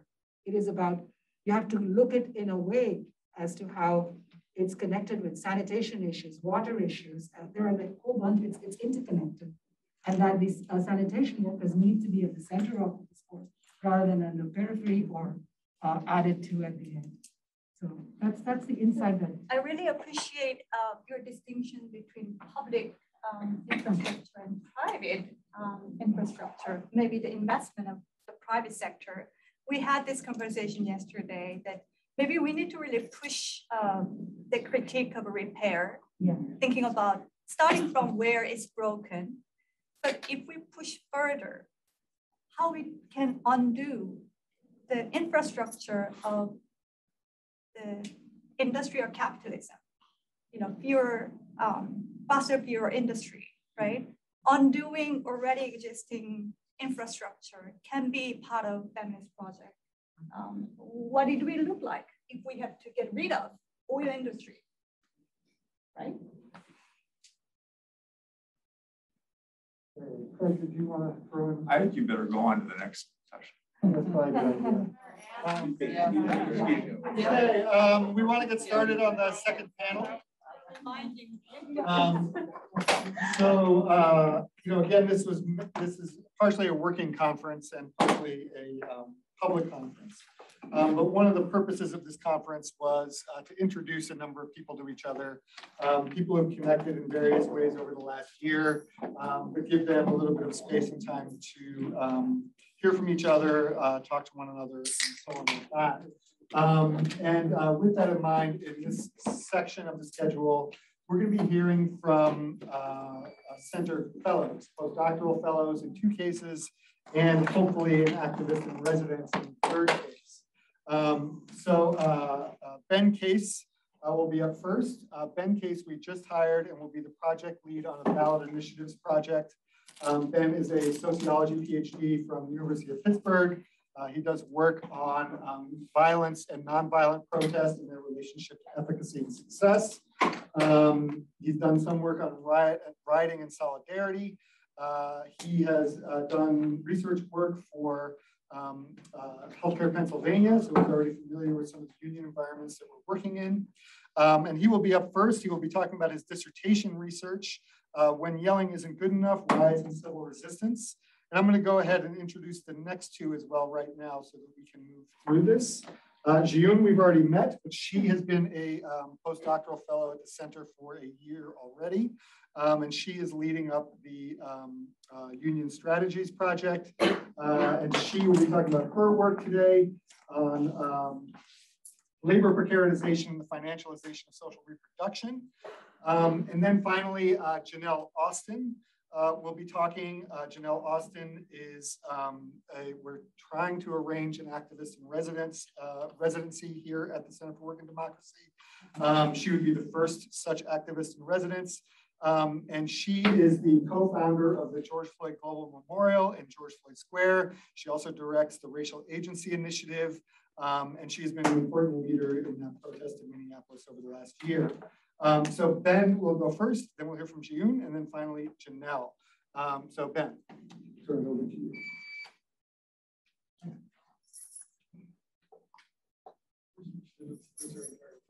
Okay.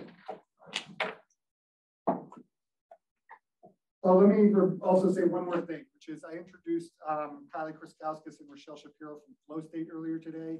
They are doing some B-roll shots. If that really bothers you, you might want to step to the side. Um, or you know, wear your mask. Or demand compensation as an extra.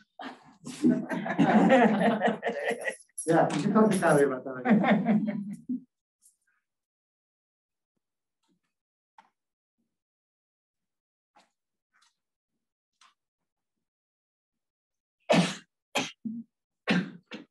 Okay, hi everybody. Uh, my name is Ben. I'm very excited to be with you here at the Center for Work and Democracy. Today, as Michael mentioned, on uh, my dissertation research at the University of Pittsburgh. Uh, hopefully this will fit right into the um, seemingly interminable tactical debates that Michael uh, mentioned. Um, so uh, my main research question uh, is how do riots factor into civil uprisings? Um, or put a different way, how do we understand violent tactics within otherwise nonviolent movements? Um, so I actually want to start with the idea of nonviolent protests, uh, because that's a big part of why I think it's so important that we do research on riots. We have this dominant notion that the only forms of protest that are legitimate, the only forms of political action that can be legitimate, have to conform to a very narrow, strict definition of nonviolence. So where did this argument come from? The argument for nonviolence used to be primarily on a moral basis, right? The idea was that any sort of violent action is wrong, our enemies are violent, and therefore our resistance has to be nonviolent for it to be righteous. Um, obviously, there are still people who hold this opinion, um, but in the face of uh, struggles for liberation uh, by the global south and by the oppressed all over the world in the 20th century, and um, accompanying theories of structural violence, um, the, the, uh, the argument for moral nonviolence lost a lot of traction on the left for people who are committed to, um, to social justice. Uh, for the most part, people acknowledge that it can be uh, legitimate to fight back. Um, uh, so the argument for nonviolence shifted, specifically around the work of a political scientist named Gene Sharp, who published in 1973 a very influential book called The Politics of Nonviolent Action, where he argued that Nonviolence isn't important because uh, it's, it's morally superior. Nonviolence is important because it works better. So the argument shifts to a strategic argument. It's about efficacy. It's about what actually works uh, to create change from below. So Sharp has this idea that um, by, by mobilizing nonviolently, we're able to put in play these sorts of power dynamics that kind of conflict the script on violent authorities. And there's a number of ways he argues this. Most, uh, one of the most prominent is the backfiring mechanism, this idea that, uh, you know, if we protest peacefully uh, and then we're violently attacked by authorities, people see this and they're horrified by peaceful protesters being attacked violently. It increases sympathy for the movement and it increases antipathy for the state um, thus allowing us to sort of uh, flip the violence of the state against them. This is one of the ways that, uh, that nonviolence is supposed to be crucial to the dynamics that allow uh, regular people to create change from below. Um, it's a powerful story. Uh, it's been deeply resonant with a lot of activists and, and movements. It's become the standard for the way uh, a lot of uh, movement organizations view, view activist strategy. And it certainly has become the standard for the way commentators on movements talk about protests. Um, it also is reliant on a very selective reading of history uh, and on a, a conceptual slippage between the ways that we define the term nonviolence, which I'll talk more about um, in a moment.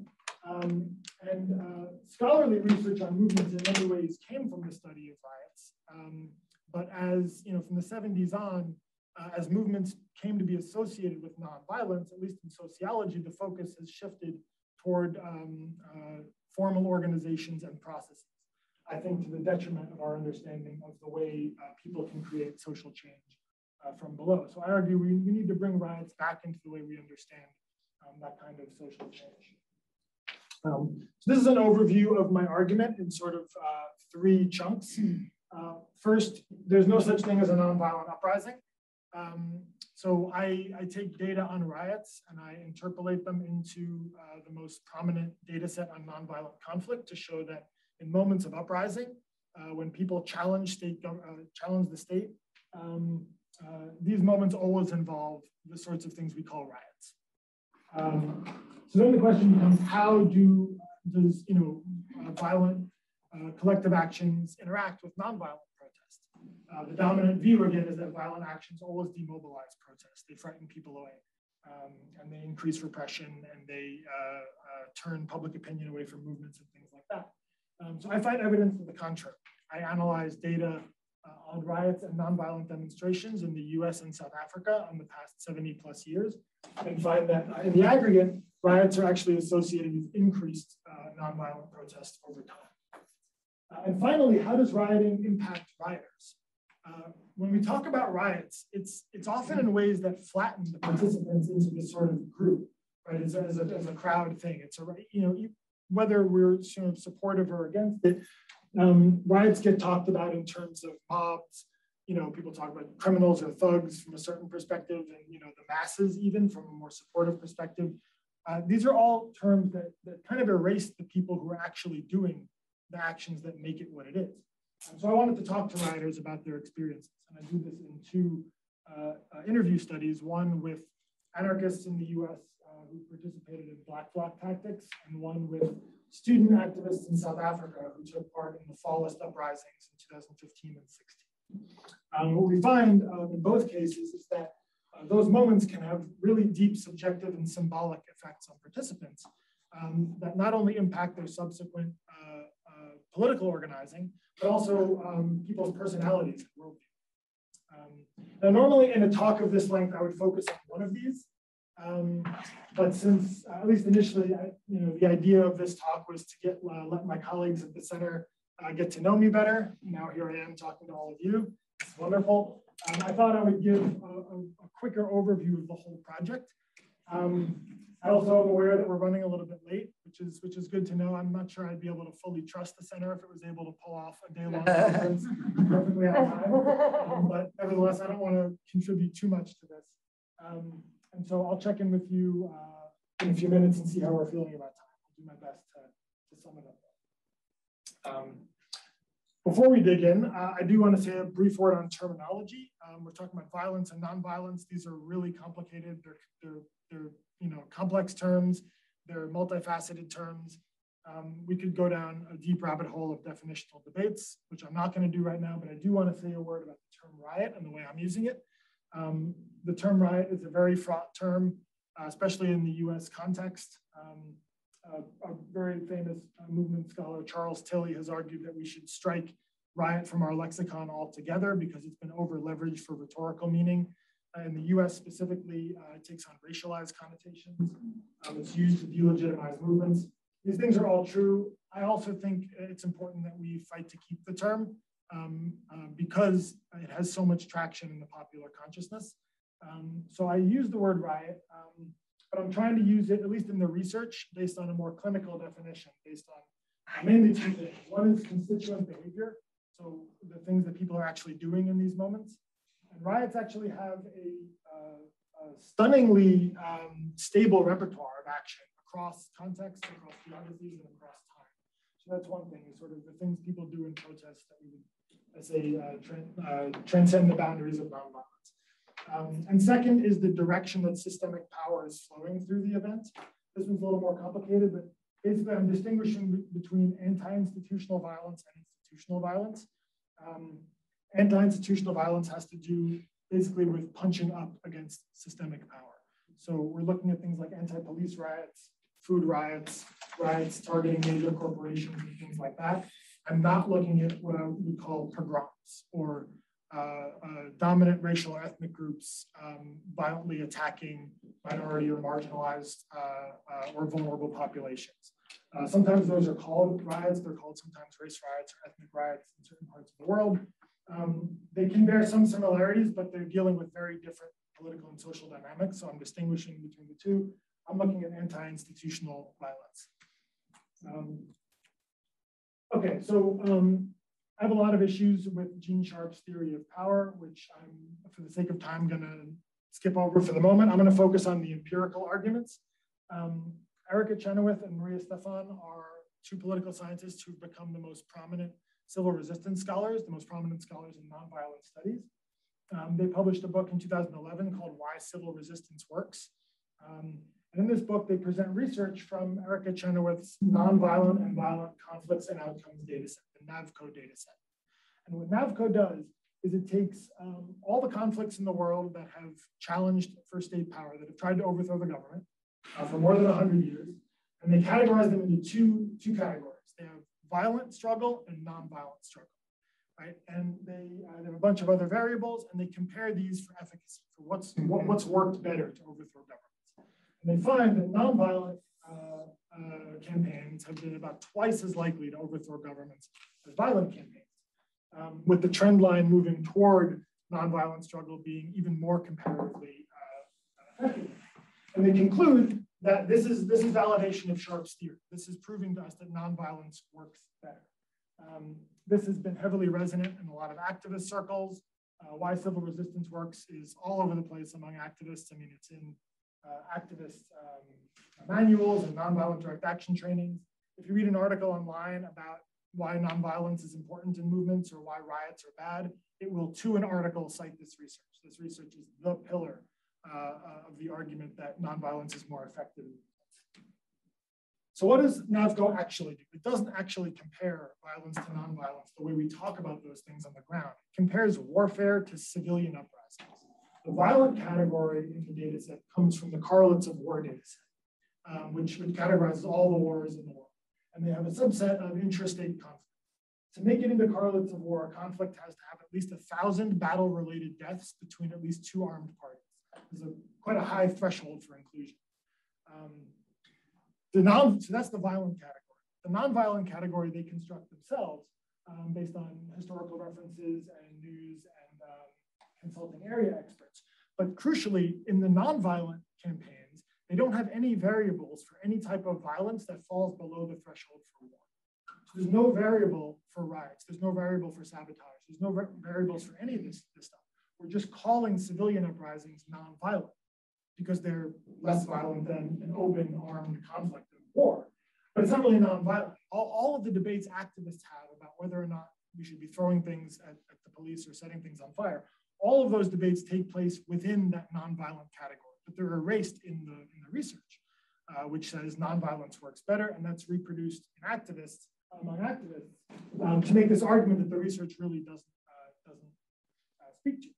So I take a variable for riots from the Banks Cross National uh, Time Series data archive um, that has variables for these types of things. Um, they have a variable for major riots. That's riots involving more than 100 people with millions of dollars of damage. This is, a, again, a major riot. And I, I um, drop that into NAVCO and line up the dates in the countries, and we find that uh, more than 80% of these nonviolent campaigns involved major riots. Um, the Banks data set also has a lot of limitations geographically. Um, it's based on English, English language news sources. Um, so when you go through case by case in NAVCO, you actually bring this number up to almost 100%. Almost every single uh, civilian uprising that's challenged the state has involved major riots. There's an asterisk on that 100%, which I could talk more about later if you want, but it's about 100%. So as I say, um, for all intents and purposes, there's no such thing as a nonviolent uprising. There are nonviolent tactics Thank you, June, uh, for uh, uh mm-hmm. reminding us about, about that. Um, and um, there's also organizations that commit themselves to nonviolence. Um, but from, a, from, a, from a movement-wide perspective, in moments of uprising, these things always involve the sorts of things we call riots. So the question becomes, how do these things interact? The dominant argument from strategic nonviolence position is that riots demobilize movements, right? The main uh, mechanism for success, according to Chenoweth and Stephan, also according to Sharp, is that nonviolence allows us to mobilize more people on a consistent basis. Uh, riots, they say, frighten people away. They invite repression.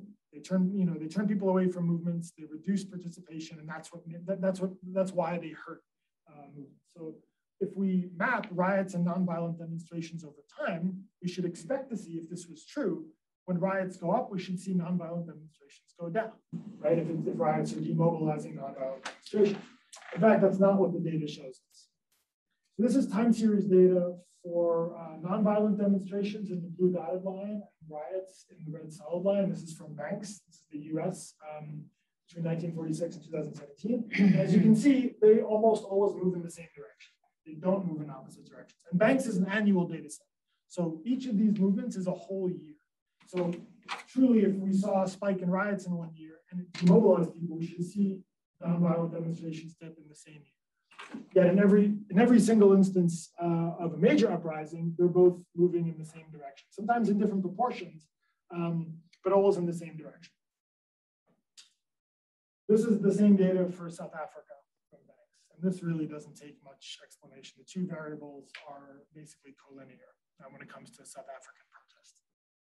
Um, so when you run the data analysis, um, I run an OLS regression and an ARIMA uh, time series model. I'm not going to go through the mechanics of those for the sake of time, but feel free to ask me about it later. Um, we find that riots are associated with increased nonviolent demonstrations within the same year and increased nonviolent demonstrations in the following. So uh, in aggregate, riots do not demobilize nonviolent demonstrations. In fact, um, they're associated with increases, especially during moments of uprising. Um, okay, for the sake of time, I think I'm to actually skip over um, some of the arguments about why this might be. Uh, but again, I'm happy to talk about that later over a beer or feel free to contact me about it.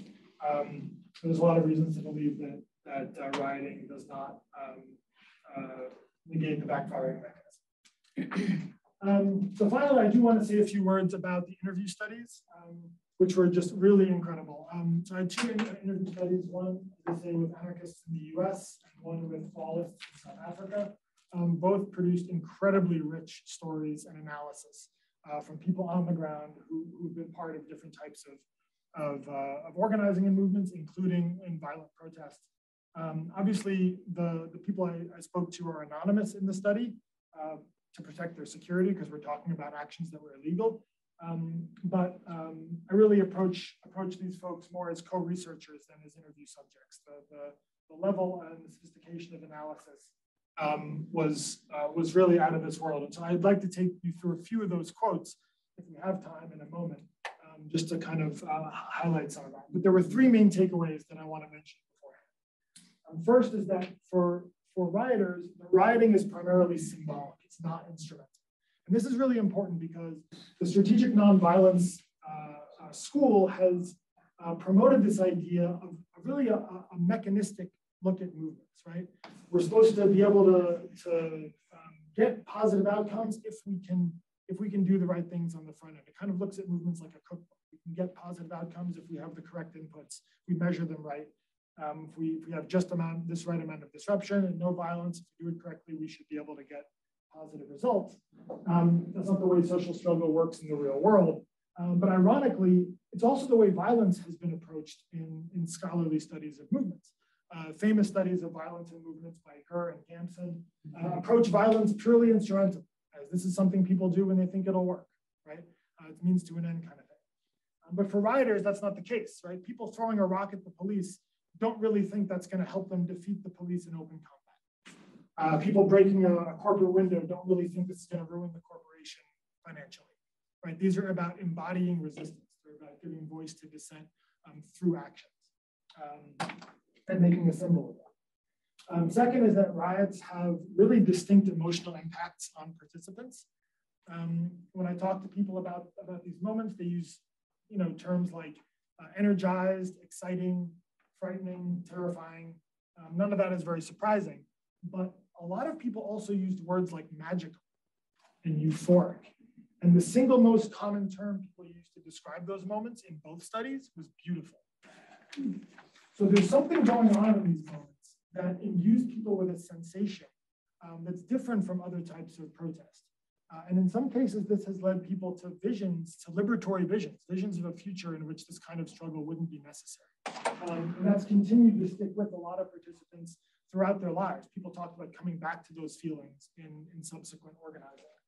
Um, and finally, um, riots sort of essentially keep the contentious in contentious politics. Contentious politics is a, is a social science jargony term. Um, but you know, here I'm, I'm, basically extending the argument of Frances Fox Piven, who argues that riots give muscle to the demand of a movement, in her words. Um, I think that's true, but that's still looking from the perspective of the target. I think it's also true of the participant.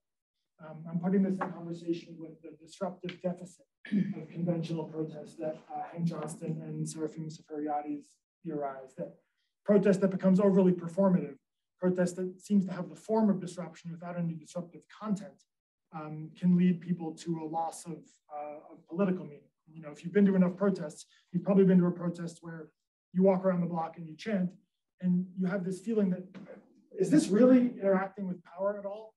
Um, sometimes that's important, but if, if, if, it's too much of that, um, I think it can result in cynicism uh, for a lot of activists. That's what people shared with me, um, and ultimately um, to potentially to co-optation and, and disillusion. Um, so in this context, um, uh, rioting can, can break through that and sort of imbue people with this visceral sensation that uh, politics is a struggle and, and, which side of the struggle they're on. how are we doing on time? Do I have uh, five minutes to five or five or seven minutes to go through some of these uh, quotes? How do, how do people feel? Can I get a straw poll here on how people feel about time? Two minutes. Two minutes. Um, great. Well, uh, maybe I will pick one from each Um, so the first two quotes come from Fallists. These are people who participated in um, a series of movements. Most were from Fees Must Fall, um, which was about um, a lot of things, but, but sparked by fighting fee increases at universities that would have been prohibitive to a lot of low-income students uh, in South Africa, but also Rhodes must fall and outsourcing must fall, which were about uh, fighting outsourcing of labor in universities and fighting to decolonize higher education in South Africa. Um, these involve campus occupations, uh, labor strikes, um, and in many instances, um, physical fights with security um, so this first quote is uh, comes from an undergraduate activist at Wits. Um, and in this, actually, he's relating a sentiment that had been relayed to him by a Palestinian comrade of his, who he met when, uh, when the, the, the, friend was studying in South Africa and they attended protests together.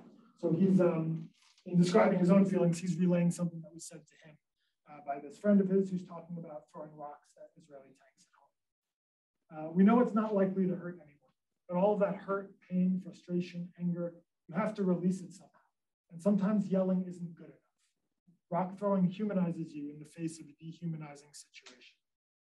Um, so as you can see, this is uh, this is also the source of the, the title of this talk and, and the title of the book project. Um, so I really think it it, uh, it, speaks to a lot of the things we're getting at. Um, it's not about defeating the enemy in a, in a, fight in that sort of a sense. It's about giving voice to this dissent and the need for that to be uh, to be said sometimes in a way beyond speaking. Um, Michael said two minutes. I'm going to push it a little bit. Um, this is a uh, this is another quote by a graduate student activist at University of Johannesburg. She's talking about a, um, a peaceful vigil that uh, parents and, and, and, and kids attended in support of the students and police attacked. The police start firing rubber bullets at us. People have been shot in the back. They're laying there and people are hiding out. The cops are walking around with their guns like a war zone. And it's so intense and we're so broken it feels like there's no hope. So at that point, a bus shelter was burned. And we all thought it was beautiful to see the fire because it's what Fanon mentions. It's kind of like a therapy for us. We needed it in that moment. We needed the roads to be blocked and we needed the stones. I'm just going to read one more. Um, the, the, next two were from uh, Black Bloc activists. This is an anti-surveillance tactic um, that came from Germany and spread across the world in the 1970s. Um, everyone dresses in black. It makes it difficult to distinguish between individuals in a crowd. Um, it also looks imposing and intimidating. These don't always, uh, these aren't always involved with riots or violent protests, but one of the hallmarks of this, of this sort of uh, um, contingent is, uh, is its willingness or sometimes eagerness to riot. So I'll skip this one for the sake of time, um, and I'll just end um, on this one. This is from um, uh, an anarchist. She's in her 50s now. This is about the first Black Bloc action in the US, which was in 1990 on Earth Day. Um, she's talking about an unarrest, which is the act of uh, physically fighting someone out of police custody when, when the police are trying to arrest them.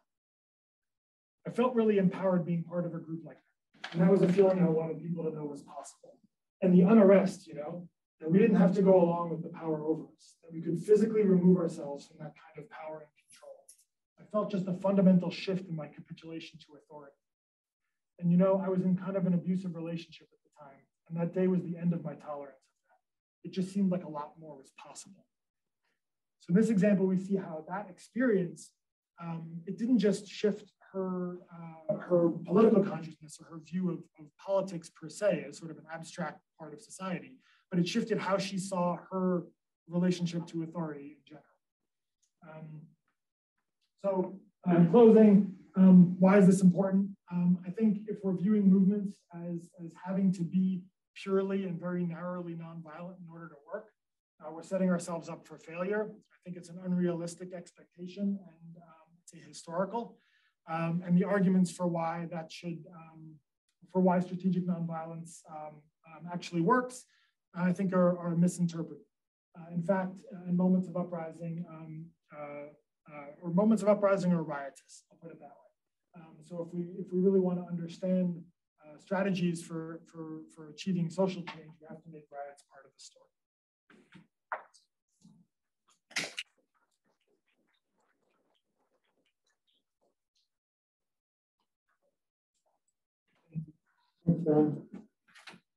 Thanks, uh, Jim.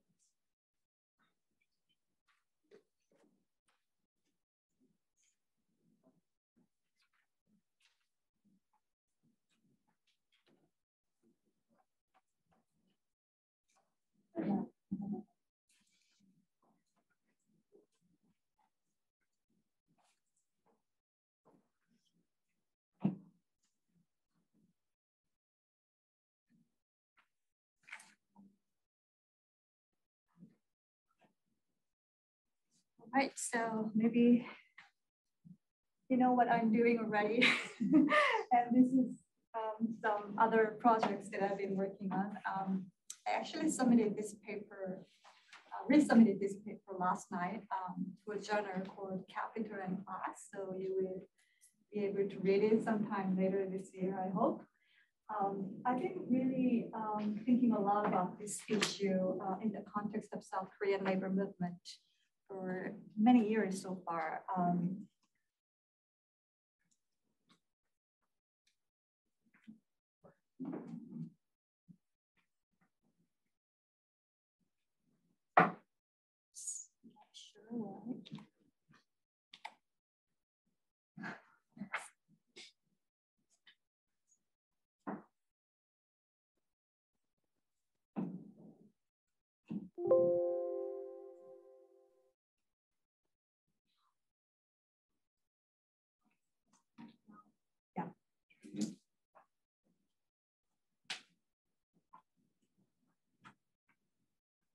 Um, so the paper is basically about, um, I met this woman, maybe anyone who knows about South Korean labor movement must know this person. Her name is Jin Soo Kim. She um, waged um, the longest, uh, we call high altitude protest um, on the crane in uh, one of the largest shipbuilding um, yard in South Korea. Still, South Korea is producing about like 12 really, really huge um, container ships every year. Think about the size of the commodities that uh, we are actually moving across the oceans.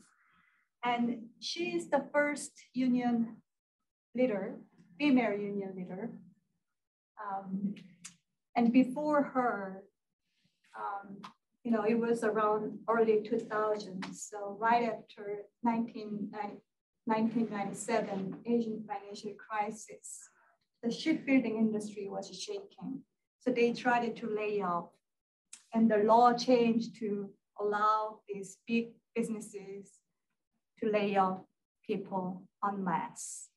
So right before her, there were two union leaders who killed themselves in the process of protest, ongoing protest. And she figured out she is not going to kill herself. Instead, she will survive on this crane, high altitude crane, that the machine that she used to build the ship and protest. And what actually happened in the process of protest? You can see these people. You know what? I really love um, Ben's description of a riot, but in South Korean context, when you imagine like mass, you know, factory workers mass strike in South Korea, you can imagine like in shipbuilding industry, everyone is wearing the same uniform, blue one. They sit like straight lines. they seriously look like just military. And I heard from one activist who I really admire. And he was saying to me, looking at the crowd, I mean, the people who are sitting like military or like a machine in their uniform, and they are protesting, right? And he said, wow, it's so beautiful. Mm-hmm. You know what? I didn't get it. To me, protest looks like this. And in the middle, um, middle of her 309 days protest. She survived in the crane for about a year. You know what happened? They continued to protest every day. She gathered the people. She wrote you know, statement every morning, every evening. She really tried to gather her union workers, you know, co colleagues to the shipyard. And they were keep protesting. And in the middle of the protest, there was this new form of movement now we call Hope Bus. So young people, all different kind of people around the country started to gather and they drove this bus to the shipyard from all over the country and people studied together. And they are not the union members. We don't even know who they are. There were like thousands of thousands of people. There were six times crowd we now call Hope Bus movement. How this was possible? The Jinsu Kim, the leader, the female leader, started to tweet. tweet. Wow. she was writing. She's a phenomenal writer. She's a phenomenal writer. She was writing not to her union members only, but to like everyone she can reach through online. And it really, you know, attracted this many crowd.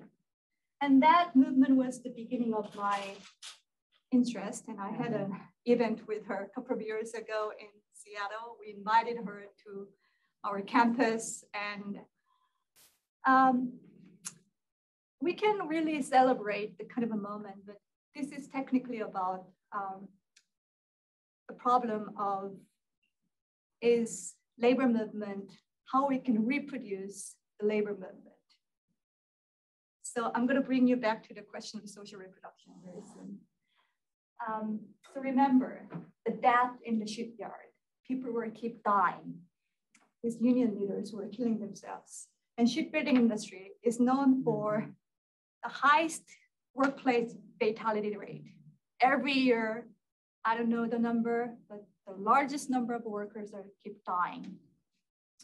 Another death in public sector, um, core-based power plant. 19-year-old, his name is Yonggyun Kim. Now we have a law under his name. 19-year-old, right after graduation, high school, you know, graduation. He found this job in the power plant. Um, you know what power plant is, right?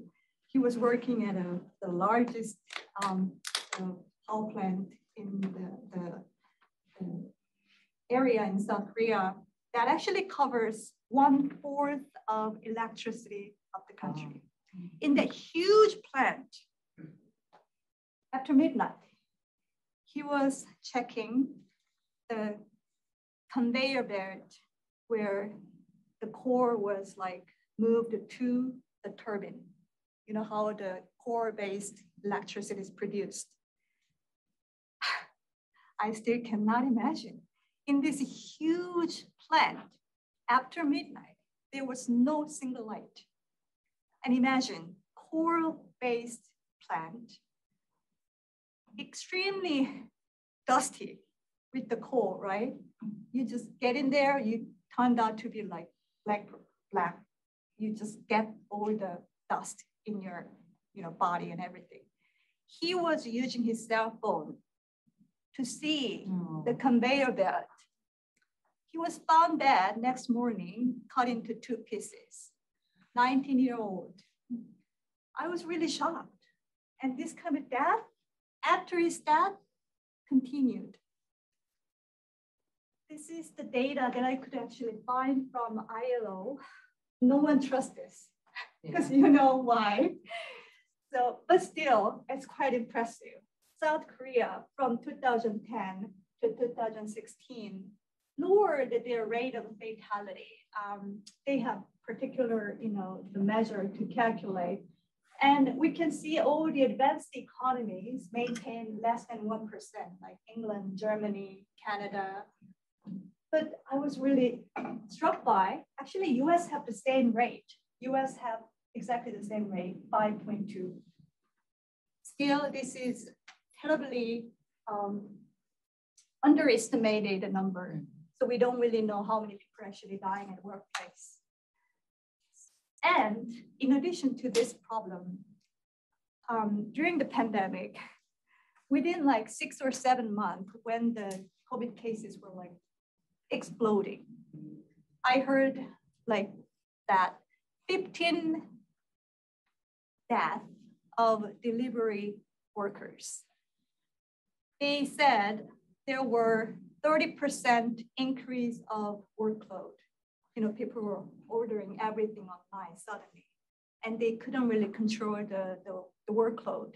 So we saw within like six months, 15 people died delivering basically the goods that you use. Sometimes people order water, toilet paper, masks, and they say regularly they needed to deliver 3,000 packages a day. Think about that, how you can divide time to deliver 3,000 packages a day. So here's some more data. We, in South Korea, migrant worker staff is increasing. We have just numbers here is significantly higher than the, the average, national average. So who are dying? I would argue, you know, the traditional industries like shipbuilding, automobile, automobile, and all the kind of, you know, heavy industries, they are downsizing. For various reasons, these workers are you know, dying, killing themselves sometimes. And the public sector, um, what happened in the past decade has been dramatically, you know, the, shifted to private companies. And those private companies hire subcontractors. Remember the 19-year-old, he was the subcontractor, uh, I mean, hired by the subcontracting company. So the fight is still going on and migrant workers are dying in recycling factories, agriculture sectors. So I was really struggling um, what I can do and how I can understand this kind of phenomena. You know, South Korea is 10th um, in its economic um, scale now. Its GDP is 10th in the world. And it's actually fifth in its military spending. Hmm. And very recently, um, invited to G7. So industry, South Korea is not categorized as developing economies anymore. Industry deepened and technologies advanced, but why the way we work has not been changed. So to think more about the delivery worker stat, what I was really struggling, like in order to deliver 3,000 packages a day, they needed to work from six to 10. And in that long working hours, you literally run carrying heavy stuff. And mostly these workers who died, they just died when they were sleeping. Heart attack, mostly. The young people like in their 30s. So the phenomena that I can actually extract from all these examples is that the extreme reduction of social reproduction time. So basically these workers have no time to take care of themselves. They have no time to eat. You know what, the 19-year-old Yongyun, in his package, people found that he had a instant noodle. So doing that kind of a work, he had no time to have decent meal. So the phenomena, extreme reduction of social reproduction time. How we can understand this phenomena. phenomena. Just to give you a, some kind of context of South Korean labor, interesting name. Um, labor scholars and activists have been producing aggressively the changing composition of the workforce for the last 10 years. So we have very accurate numbers, unlike the US. So you can see almost like half of workforce, entire working people are contingent workers. They cannot guarantee that they're gonna work next year. First government is underestimating like 30%. And here you can see composition of um, the contingent workers by gender. Female contingent workers were like extremely high right after the financial crisis. So early 2000, it almost reached 70%. And now it's like 50%. And you know what? They are making half of the regular workers' wage, even though they do the same job. And the union density this year recorded at 12.5%. Not very different from the US, but I don't know, it's kind of growing. Um, but I'm pretty sure that number growing from 10% to 2%, most organizing efforts was made by contingent workers, these contingent workers. So my main inquiry is um, how do those people whose life conditions are fatally contracted in the time of financial crisis, pandemic crisis, climate crisis, experience the time of progress, economic growth.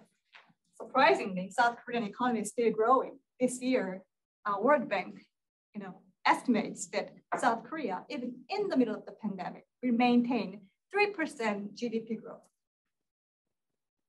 how economy is growing, right? The contradiction between the mode of working class social reproduction and the logic of economic progress is the key argument that I'm trying to make in the paper.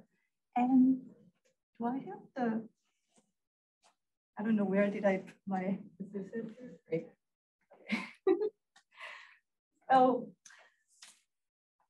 like you said, I have like 10 I have like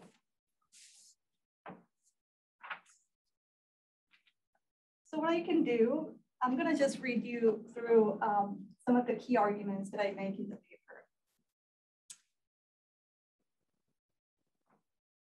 Just to give you some kind of quick summary about the notion of social reproduction.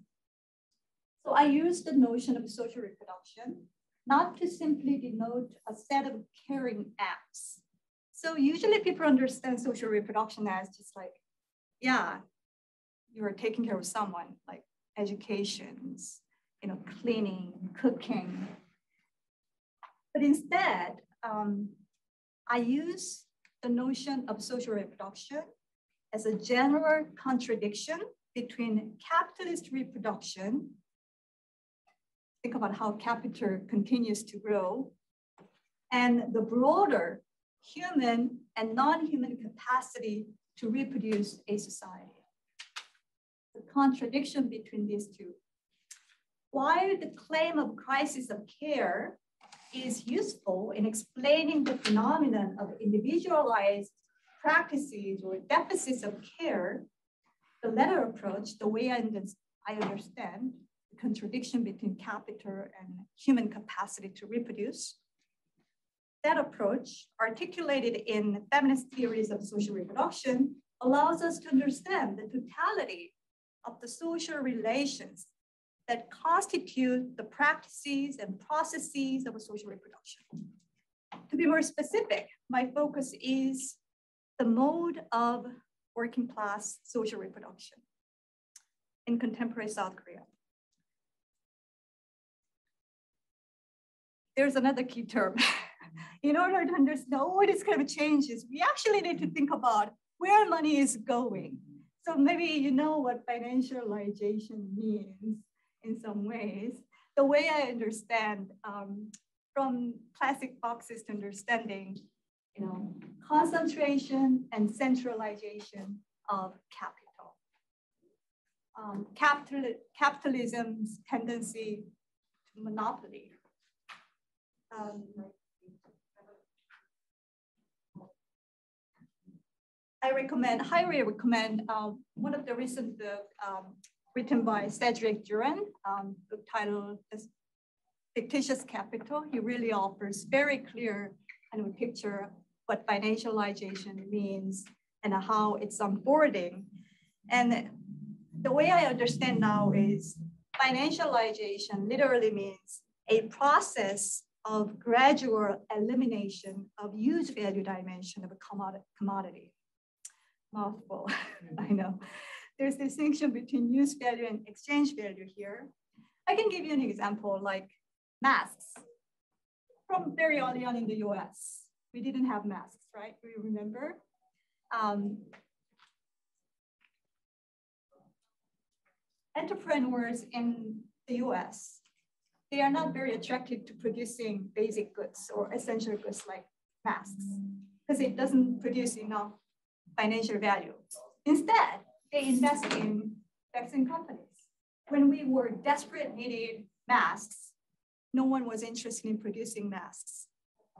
So that's a very good example how financialization eliminates essential, socially necessary use value dimension of goods that we need desperately in order to survive. Instead, people prefer investing in finance. In the paper, I show first that the impact of financialization is not limited to the traditional production sphere. And second, how in the post-developmental regime like South Korea, the big companies called the chaebol, chaebol-led financialization process penetrates into the sphere of social reproduction. I track this dual process by focusing on how chaebol capital exploits contingent workers to the extent that the level of exploitation leads to the workers' premature death. And the ways chaebol capital invests in reproductive commodities such as insurance, food and retail, and entertainment for financial profit. So this double penetration of chaebol capital into working class lives is intensifying the level of precarity in the spheres of both production and reproduction in South Korea. So it sounds very complicated, but in order to really understand what's going on, why these workers are keep dying, is because South Korean government kind of poured, I mean, um, stopped investing in welfare. They basically followed the, you know, the neoliberal kind of, you know, troop and basically these workers have no other means but to accept these kind of death-ridden jobs, right? So I propose in the paper, looking closely at these financialization processes that provide the general societal capacity to care for and support the populations exposed to neoliberal techniques of exploitation, extraction, and precaritization. I call this general tendency the financialization of a social reproduction that is underway both in private and public spheres, unfolding in variegated forms and uneven patterns across the globe.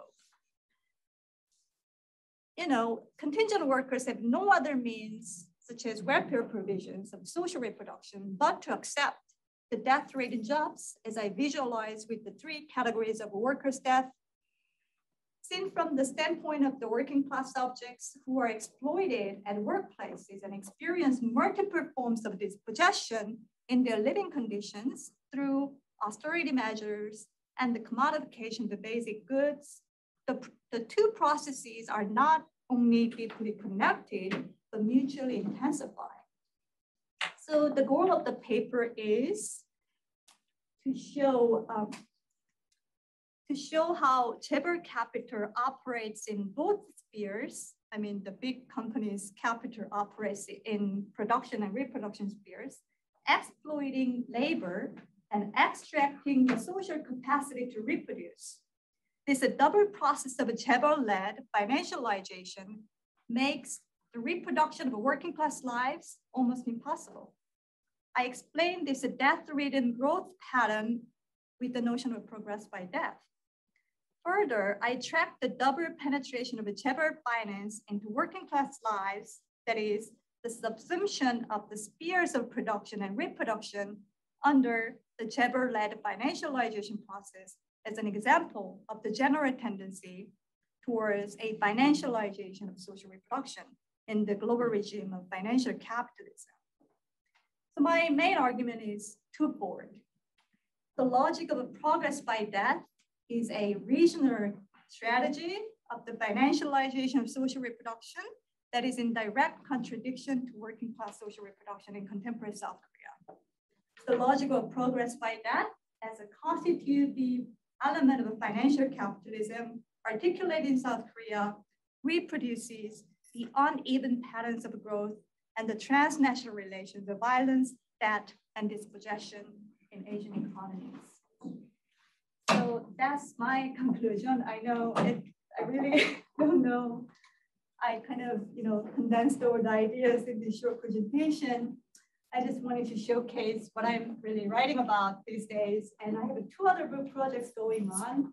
The first one, um, the title Expressive Struggles, um, Neoliberal Temporalities and the Social Reproduction of Feminized Labor in South Korea. My dissertation project is now under contract with the press. Um, and I'm actually thinking about combining what I've said today, alternative unionism and social reproduction theory.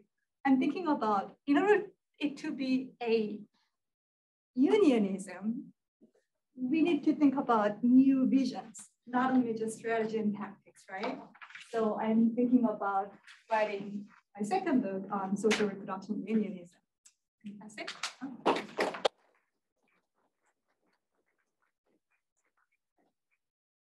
Um, so we are uh, behind schedule and I would like to get us on schedule uh, and I would really like to make sure that um, two people have an opportunity to give their full presentations and we have a chance to discuss it. So uh, we're actually going to take a quick five minute break. And then at four o'clock, uh, we are going to have Jeanelle and then Dave and then Craig responding to Jeanelle and Dave. And then we're going to have a conversation. Um, so that's how we're going to do that to try and get back on schedule. Um, I'm sorry we can't have more of a dialogue now, uh, but hopefully we have a reception right after this and we'll have a chance to talk. Um, so uh, give us about five minutes and then we'll get started again with Jeanelle Austin. Okay, um, let's uh, start regathering. Um, we're going to have an opportunity to talk in um, in about an hour. Um, but I do want to make sure that uh, we give our two next speakers plenty of time. Uh, that is Jeanelle Austin and Dave Regan. Um, I've introduced Jeanelle already. Um, she is the co-founder of the George Floyd Global Memorial. She is the director of the Racial Agency Initiative, and uh, she is hopefully going to be a um, resident of the Center for Work and Democracy this year. Um, the other person that we're going to be hearing from in a minute is uh, Dave Regan, who is the president of United Healthcare Workers West SEIU. Um, Dave and I have been friends for a very long time. Uh, so my wife and Dave have been friends for much longer. Um, um, but he has been a, a, tremendous supporter of the center, and uh, we try and be a supporter of um, UHW and its work. Um, and finally, uh, Craig Calhoun, who is also a long uh, time and dear friend, um, who will be uh, engaging in a discussion, an initial discussion with Jeanelle and Dave after they present. Um, so Craig is a university professor of social sciences here at Arizona State University. Um, and uh, he will be closing us out with Dave and Jeanelle. Um, so let me turn it over to uh, Jeanelle to get us started. Jeanelle. Hello, hello, hello, everyone. Hello. Yeah, someone responded. Hey. hey. Microphone. oh my goodness. This is um this has been a very interesting day for me, especially like watching like the flow state video and seeing like my brother and my sister, yeah. my brother's cooler on like the screen, my friends and my neighbors. Um, and it, it, it, evokes a lot of emotion. Or when Ben was giving his presentation and, and under uh, riots, there was listed, like the definition, there was listed barricades. And I was like, huh. like, all right. And so just really filtering this moment and opportunity uh, through the experience that um, I've had over the last year and a half has been um, a really enjoyable process. Um, but um, I, I bring greetings from Minneapolis, Minnesota. Um, I am a daughter, sister, I'm an auntie, um, I'm a neighbor, I'm a cousin. I, and I like to root myself in my relationships with the people that I engage make me who I am, make me a better person. Um, but other things, I, I like cloud watching. Um, cloud formations are the best. I believe that ice cream makes the world go round and cookies help it. Um, and I've traveled the world and I've seen many things. And there are some things that I wish that I could unsee, but I can't. Um, so instead, I have committed my life uh, to the work of racial justice. Um, and I want to acknowledge the Salt River Pima Maricopa Indian community um, and thank their people for the generations of care and connection to the earth around us that they have done here. Uh, with that said, um, I'm going to bring all of who I am to the table today. What I have to offer is part protest, part uh, theological, uh, part imagination, um, and with a dash of poetry. Uh, hopefully, I will bring you along my journey of ideas gracefully. Um, now, to talk about the memorial um, to George Floyd, and really the memorial to all stolen lives, um, there's only one appropriate starting point in my experience, and that is simply the statement. Whereas the city killed a man. And that's how Justice Resolution 001, more commonly uh, known as the 24 demands, begins. And that's how I begin. Um, it, is, it is how a refreshed global movement for justice began. It is not lost on me that I would not be speaking to any of you today if George Floyd were still alive or had died by some other means. So I say it again, whereas the city killed a man. It is not lost on me either that in Minnesota, North Carolina, Texas, New York, Florida, and other parts of the country, there are extended family members of George Floyd who remember and grieve differently than we do, whereas the city killed a man. Um, I'm also keenly aware that uh, it is Dakota land in Minnesota that holds the final breath of George Floyd, bearing witness to the final memories of his life, whereas the city killed a man. And then there are the memories that we, the people, hold the trauma, the protests, the fight for justice, the grief, the pain, the hope, the processing, the fear, the unknown, and the love, whereas the city killed a man. The death of George Floyd was extremely political, and so is his memorial. Let's take a moment to, brief, to briefly walk through an overly simplified review of what happened in 2020. First, we lost Kobe Bryant uh, to a tragic death. Next, COVID-19 exploded and shut down standard social and cultural practices across the globe.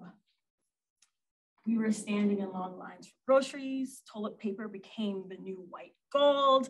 We could only go outside once a day for a walk. Uh, we could not hold our elders. We did not know who or what was safe. Third, during the early days of the pandemic, on February 23rd, 2020, Ahmaud Arbery was killed by a vigilante who decided that, um, that Ahmaud, that Ahmaud's decision to run while black was unacceptable. He killed Ahmaud in cold blood, gunshot to the abdomen after Ahmaud attempted to defend himself with his bare hands. March 13th, 2020. Breonna Taylor was murdered in her bed by law enforcement in Louisville who served a no-knock warrant and killed her while she was sleeping in her own bed. Steve Taylor was murdered by the police on April 18th, 2020, Doug Lewis on May 1st, 2020, and Sean Reed on May 6th, 2020. The United States of America had widely demonstrated that unlike the rest of our social patterns, racism and modern lynchings would not be halted because of the pandemic.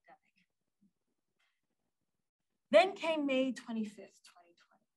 George Floyd was murdered in broad daylight by the Minneapolis Police Department. Unlike the stolen lives before his, he was not shot to death. He died a slow, agonizing death via suffocation as then the Officer Derek Chauvin kept his knee on his neck while bystanders and Mr. Floyd himself pleaded for mercy.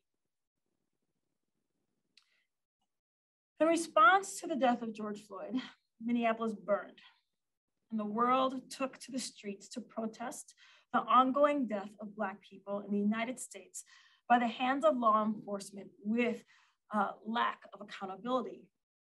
People marched to ensure that the police officers responsible for the death of George Floyd would be arrested and charged. People marched because we were in pain. People marched because we could not take it anymore. The compound deaths were too much to bear. Our grief was greater than our bodies could hold. And that energy had to go somewhere, lest it kill us too. In Minneapolis, as people marched, they would find their way to the place where George Floyd took his last breath and laid down an offering. The kinds of offerings people brought varied from protest signs to letters, uh, spiritual crystals to painted rocks, cut flowers to potted plants, baby blankets to bassinets, bottles of alcohol to fresh fruit and more. However, people decided to process their grief, they found a way to express themselves and their protest. After spending months on end with these offerings, I have come to call them creative expressions of pain and hope. And while I could spend days talking about the materiality of the memorial, today I am more interested in speaking with you about the politics of the memorial wrapped up in a singular question. What does love have to do with it? Years ago, I was asked to write a poem for a friend's wedding on the topic of love. At the time, I did not feel that I had an adequate grasp on what love is. So I interviewed several people across the country on their understanding of love. The most re profound response uh, that is forever etched into my memory comes from my apartment complex neighbors who were in their 60s. I asked the wife, How did you know that your husband loved you? She paused and then replied, He remembered me. There is an intricate connection between memory and love. The things and the people we love, we remember or we hope to be remembered by. As one drives through any city in this country, you may find memorials here and there along the side of the road. Maybe there was a car accident and a loved one died. Maybe there was a shooting, or maybe a family pet was hit by a car and died. It is not uncommon to see these simple acts of love pop up across the country. Now, memory and love is not just a connection of death. We remember birthdays, anniversaries, or maybe we simply just remember that our partner is at home holding it down uh, when we are away. And we choose to demonstrate that remembrance through a gift, an, an act of kindness, or intentional words. Or maybe you've experienced the decline of a loved one with dementia, and you know the pain of not being remembered. Love and memory are intricately, intricately connected in our human experience. Now, let's move this idea of the connection of love and memory from an interpersonal scale to a societal scale. Uh, according to the Merriam-Webster dictionary, uh, we're gonna break this down just simply. To memorialize is to commemorate, to call to remembrance, to serve as a memorial of. We are no longer simply dealing with a memory that is created by primary experience per se. Now we're in the realm of creating memory through storytelling. We shape the collective memory through the ways by which we tell history. I know and love and remember Reverend Dr. Martin Luther King Jr., not because I met him personally and shared memories together, though I wish we did. Uh, I know and love and remember him because he is in my textbooks in school. His name is on at least one major thoroughfare in nearly every major city. He has a national holiday named after him in January. He has a monument in Washington, D.C. He is loved as a civil rights movement hero because of the way in which the story is remembered and because his story is remembered. Dr. King has been memorialized into the conscience of American society as someone to be loved, whether or not you agree or disagree with how or if he should be remembered. In this work of racial justice, I like to say that it is extremely important uh, that we hold a PBS Kids imagination. And for those of you who share my love for Sesame Street, um, do you remember this exercise? One of these things is not like the other. One of these things just doesn't belong. Can you tell which one is not like the other uh, before I finish this song? But I'm not gonna sing it because I know my limitations and my gifts. And here are the names, Christopher Columbus, Robert E. Lee, Dr. Martin Luther King Jr., George Perry Floyd. Here's what they have in common all of them are remembered. All of them are deceased. All of them are men. all of them had flaws. All of them have streets named after them somewhere in this country. All of them had statues commissioned to remember them. All of them lived in different time periods from each other. But like a classic PBS Kids exercise, there is an obvious answer, and it's George Perry Floyd.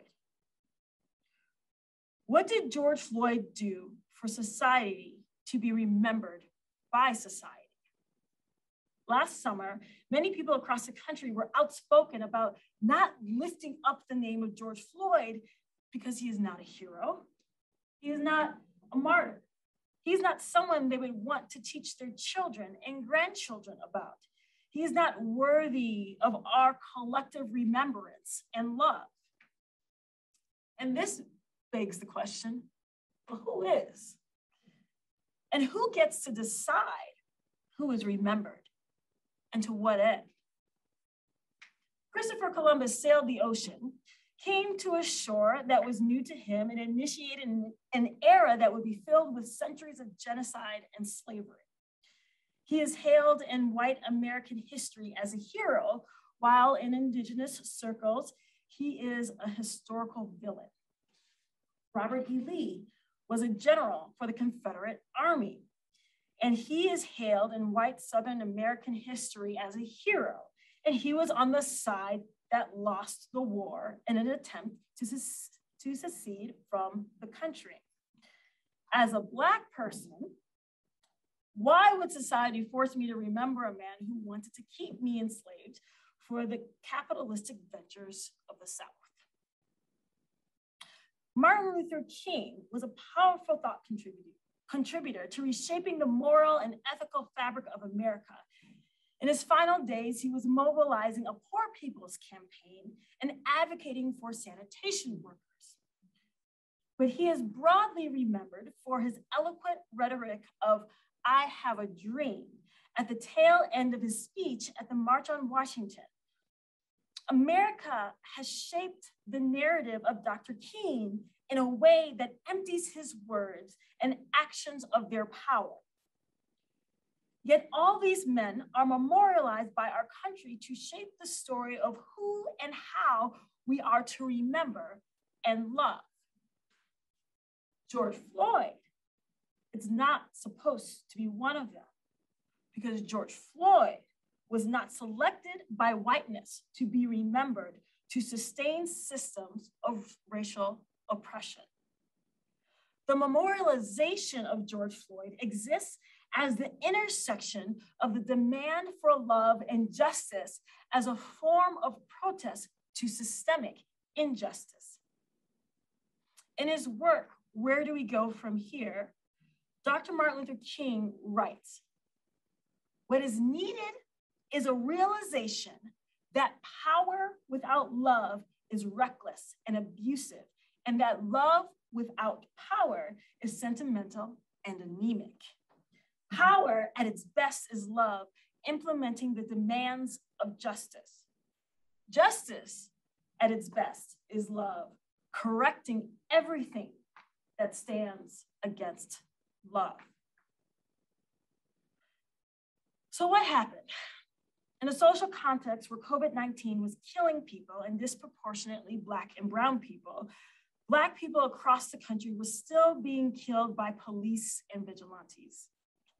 In his book, Long Time Coming Reckoning with Race in America, Michael Eric Dyson uses a rhetorical tool of writing to the late Emmett Till, describing the way in which these twin pandemics of racism and COVID 19 are shaping the experience of Black death in a way that is too heavy for any of us to bear. It is out of this context the people protested. We have a sign at George Floyd Square that reads, Where there's people, there's power. The people decided that the story of George Floyd would be remembered. The people decided that they would love a stranger who is dead because he represents so many who can and might die the same way if something does not change. We centered his story despite who he is, sorry, despite who he was and what he did or did not do. We took someone who was socially marginalized and centered him in our collective consciousness. On seven continents, and I know this because I met someone from Antarctica who came to me and said, we protested, all right? uh, on seven continents, the people protested against unjust systems.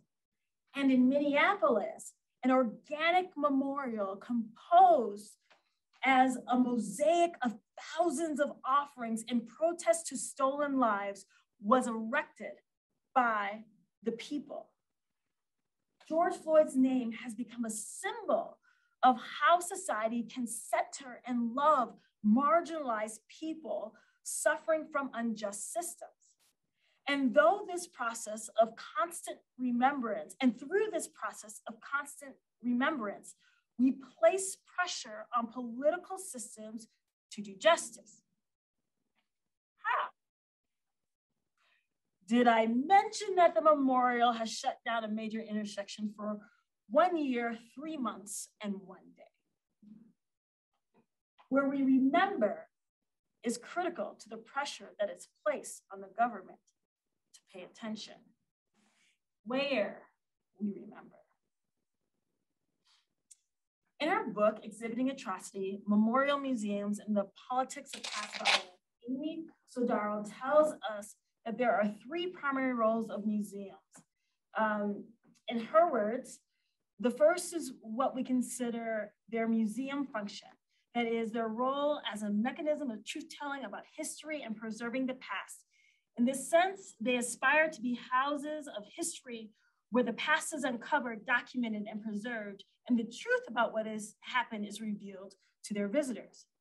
The second is what we is what we can consider their memorial function, which is to serve as a space of healing and repair. In this, they are a form of symbolic reparation that seeks to give acknowledgement to the victims and serve as a solemn space of mourning and remembrance in effort to help heal and repair community. The final function embodies that what is most new and unique about these museums and is the very reason that this hybrid form has emerged. They are intended to morally educate visitors to internalize an ethic of never again. While George Floyd Square is not yet a memorial museum, but a place of pilgrimage and protest, it holds a similar function. And the never again sentiment is the element of protest. Memorials, when we are intentional, can be disruptive structures of love that move people to change systems that unjustly kill people. But they have to be big enough and profound enough to force people and governments to pay attention. I like to define protests as something that exists to disrupt business as usual to signal that there is something wrong that needs to be made right. And this is where this movement links to the work of the Center for Work and Democracy for me. For the people to take a stand to protest Black death through racist government institutions is for the people simultaneously to stand up for Black life. Black life is the sum of a mosaic of experiences, which includes the basic human right and need to work. As a, theolo- as a theologian, my studies of the Christian scriptures have brought me to the conclusion that people were created to work, and work is a gift from God to fulfill our identity as being human without being exploited. To advocate for the liberation of Black life is to open the door for building equity for all people in America and to embrace what is uh, what it means to be fully human. The activism work of racial justice includes the advocacy for workers' rights. Just think how many more Black people would have survived the pandemic if they were not considered essential workers, enforced by their economic circumstances to show up to work every day, increasing their chances of being exposed to unknown uh, to an unknown virus without the proper PPE, and return home every day, placing their families at that same risk. Justice is the process of making things right. Our work as racial justice activists is to not just right the wrong of policing in America. It is to right the wrong of racism. And we have chosen to lead this fight with love through the process of memorialization until we as a society never forget and, um, and choose to chart a different path forward. In closing, I want to tell you a story. On July 24th, 2021, a young Black family visited George Floyd Square at about 11 p.m. at night. It was a mother with three sons. The oldest was about 16 years old, and the youngest was 10. It was his birthday. And he was just old enough to ask a million questions. He asked about the fists in the center of the intersection. He asked about the offerings that were laid in the street. He asked about the photos he saw in the windows. It was a time of night where nothing was happening.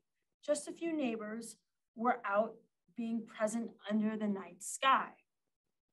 Suddenly, the young child exclaimed, This place is more amazing than I expected. I looked at him and I asked him, Why? He replied, There is so much love here. Was a child without the aesthetic of protests, musicians, or activities, or the hustle that George Floyd Square can bring on any given day, who, when left to discern what the essence of the memorial is, that came to the conclusion of love.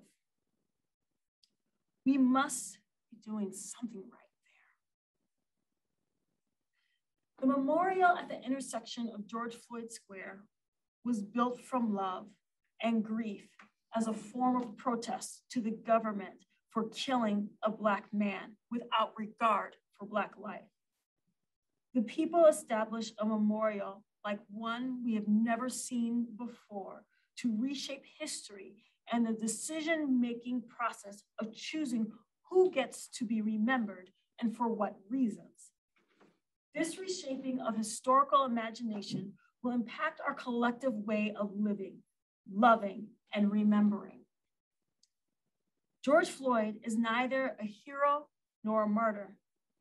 George Floyd is us, and we are George Floyd. As a Black person in America, the only thing that separates me from suffering the same fate of unjust Black death as George Floyd is a police officer having a rough day and deciding to take it out on me. The line is extremely thin. Therefore, it is urgent that we allow this and other memorials to be large enough to disrupt and challenge systems of injustice. To let people in places of government power know that we are not collateral damage to a system of white supremacy. To remind them that those who have died unjustly are remembered and loved and upheld as stolen lives. And the more we collectively lean in as a society to memorialize those who have died unjustly, we will not only place pressure on existing systems to be corrected, but we shape the course of American history, remembering and loving people because they are people deserving of holistic liberty and justice and hope. For at the end of the day, the people are more sacred than the memorial itself and worthy of our love and worthy of the chance to live fully. Thank you. Yeah.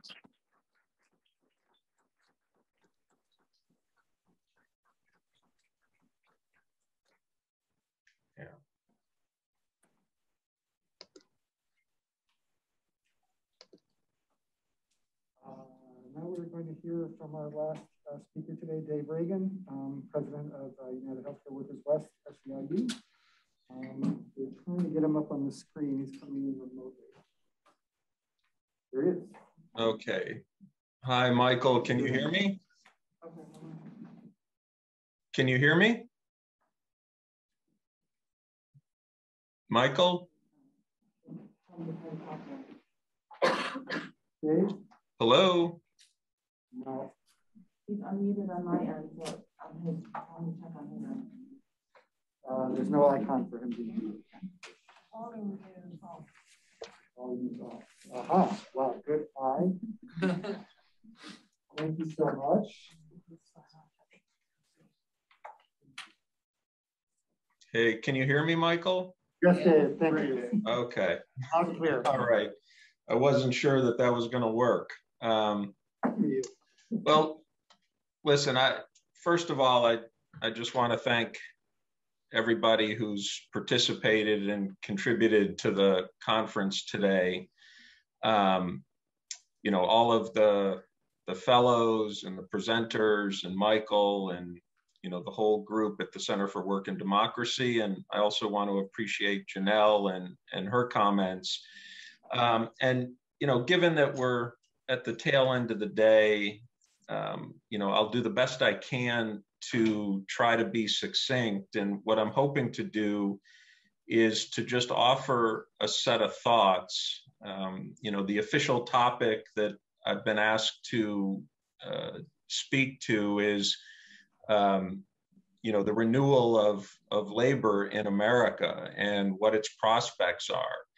And, you know, honestly, this is a, a difficult and complicated and uh, thorny question. And I'm not going to pretend to try to give any definitive explanation here, but I do think there's a set of things that I hope to put on the table that speak to the possibilities in the future, the work of the Center for Work and Democracy, and, and just what all of us do in our capacity, whether in academia or doing social justice work or doing you know the kind of union work um, that I do with my coworkers and colleagues at United Healthcare Workers West.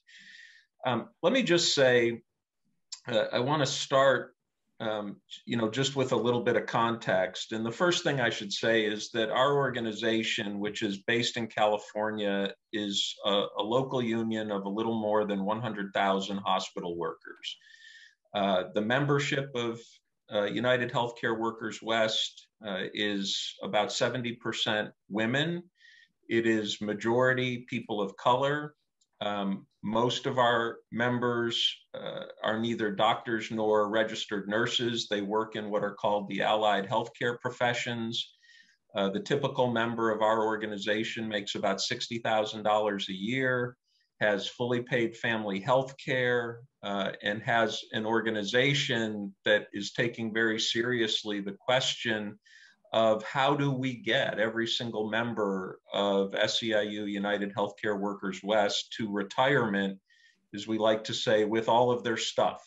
Uh, and anybody who's paying even a little bit of attention in the world these days knows that you know the standard of living for uh, for service workers and for you know frontline healthcare workers is something that is precarious.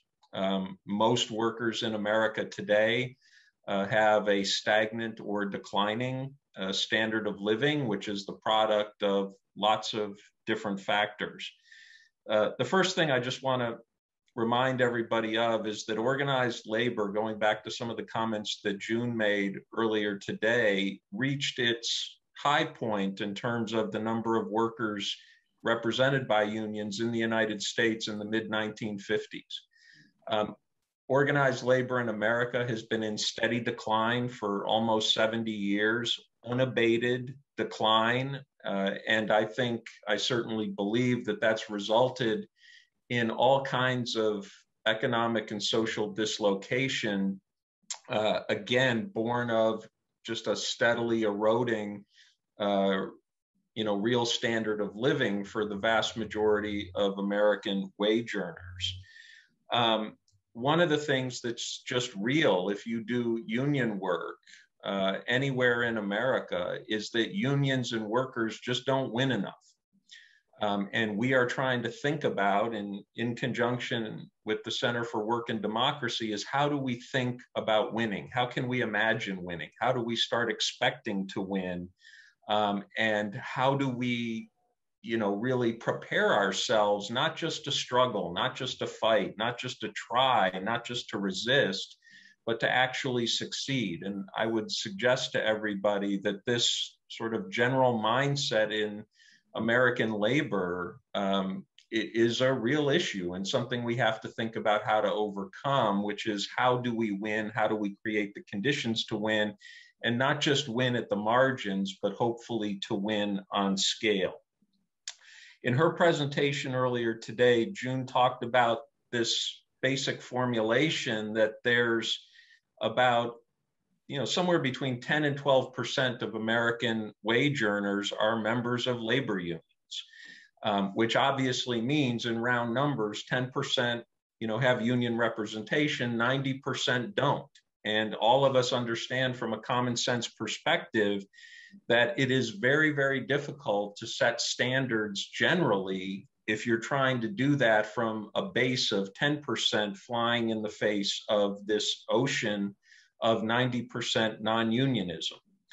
And it's fair to think about that, the 10% versus 90%, but the truth is, what that obscures is radically different levels of representation between the public and the private sectors.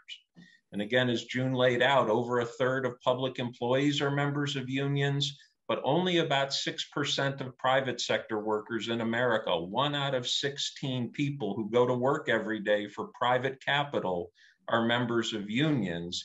And it is the private sector that drives economic standards in this country. And if we don't think and come up with ways to deal with that, our prospects going forward um, really are bleak. So for us in UHW, and I think for us at the Center for Work and Democracy, is we really do have to think about how do we attack this problem of declining and almost disappearing unionism, particularly in the private sector, increasing public hostility towards public employee union members and what they have managed to hang on to that has largely been lost in the private sector, like defined benefit pension plans. You know, we need new strategies. We need new approaches. We have to think about different ways um, to get at that. And the truth is, what you see in America right now is that American labor is almost in this balkanized state where most union members, even within that framework that I described a moment ago, are housed in a handful of states, particularly California, Oregon, Washington, Illinois, New York, New Jersey, Connecticut, Michigan.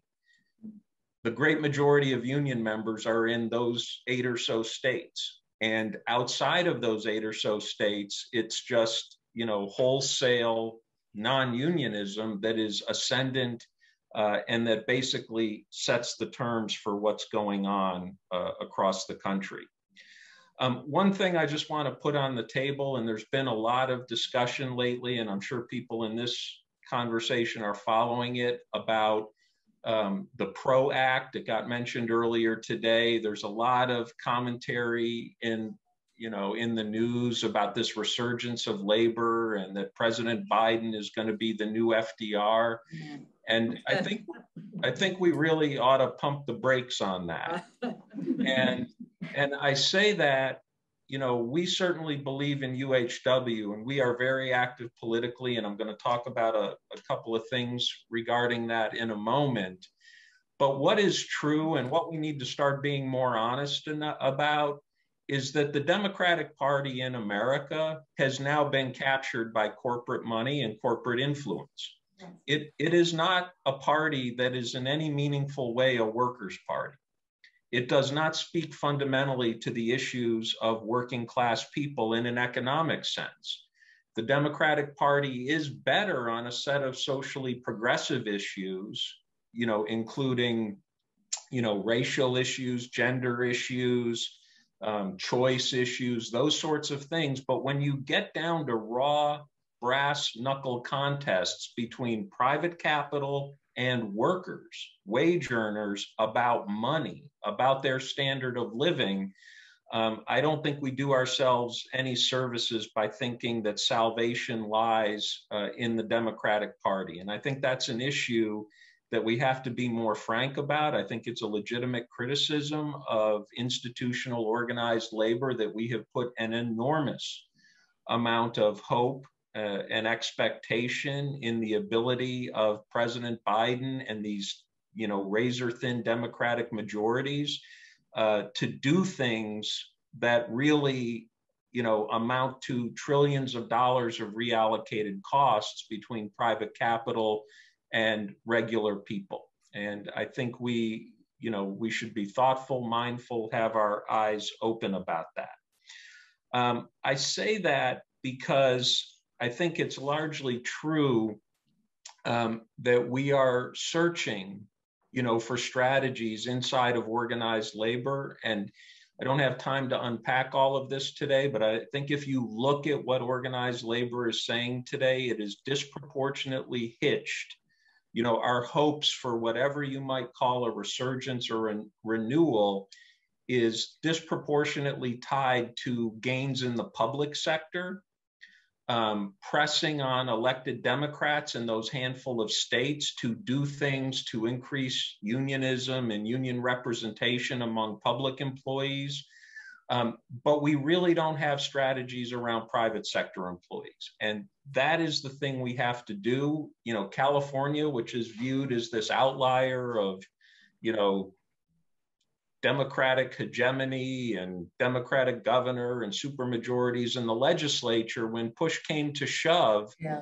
about a contest between workers and the classification of workers as employees or contractors at Uber and Lyft, you know, versus, uh, you know, that workforce versus the owners of those platform companies in Silicon Valley more generally, we got wiped out. Um, and, you know, we're, I think it's an open question about whether or not and the role that elected Democrats are prepared to play. So, one more little bit of context, and then I want to just put some things on the table for how we think about this and and what we think matters and hopefully some of the things that the center can focus on in the morning or in the morning in the future. Um, a couple of quick things. The american workforce is about 160 million people if you aggregate all of the membership figures of every union in america you get about 16 million people roughly 10% i think that's a good back of the envelope number. That's all unions. And I say that because if we're going to have a renewal, if we're going to have a resurgence, if workers are going to turn around the declining standard, the real declining standard of living that we're facing, we can't be doing things in the hundreds or the thousands or even the tens of thousands. We have to have strategies that reach people into the millions. And we have to be willing to experiment. We have to be willing to take risks. We have to be willing to put resources on the table for things that may be uncomfortable, counterintuitive, you know, may even seem somewhat speculative. But our, you know, our position is precarious and incrementalism is not the way out of this situation.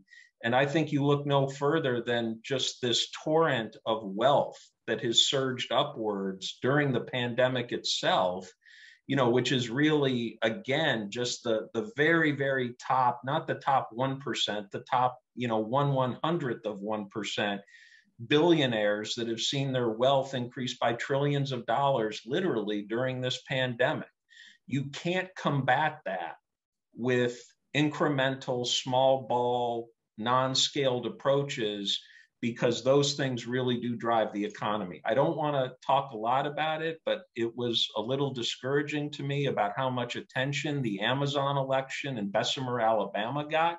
Yeah. I think those of us that have done this work for a long time did not expect that the union was going to prevail. And even if they had prevailed, organizing 14 or 1500 warehouse workers or a few thousand warehouse workers in the middle of Alabama against this behemoth called Amazon, you know, winning an election is a very, very fleeting and temporary sort of victory, even if you can achieve it. And I think that, you know, we need to, you know, take stock and learn some lessons and think about it. And what I'm trying to say is the legal vehicle that we use and we talk most about to increase unionism is the National Labor Relations Act, which is a piece of legislation that's 90 years old. And it was built for an economy that doesn't exist anymore. And I just think it's not, you don't have to be very creative to think that if we're trying to funnel whatever creativity and strategies and ideas we have through this anachronistic and 90 year old piece of legislation, you, you got to again pump the brakes and ask yourself if you're doing the right thing. So I think we need to take scale seriously. I just want to say again, we're a local union of 100,000 members, and I just want to share with you some of the work we're doing. Not because, you know, just because this is what we are doing and this is what we are thinking about, and this is how, you know, we tinker with what I just described as confronting us. And there's a, you know, a set of core principles. Number one, we don't have a lot of time. We're facing a dire and an urgent situation to get people to retirement with all of their stuff. And even better, how do we create the conditions for people actually to have an improved, uh, improving standard of living? Um, you know, Michael and others at the center are familiar with this, that one of our experiments is we created an organization called the Fairness Project. Um, we created it five years ago. We launched it with a set of campaigns in 2016, including putting on the ballot in the state of Arizona that we wanted to raise the minimum wage, which at that time was $8.05 an hour to $12 an hour.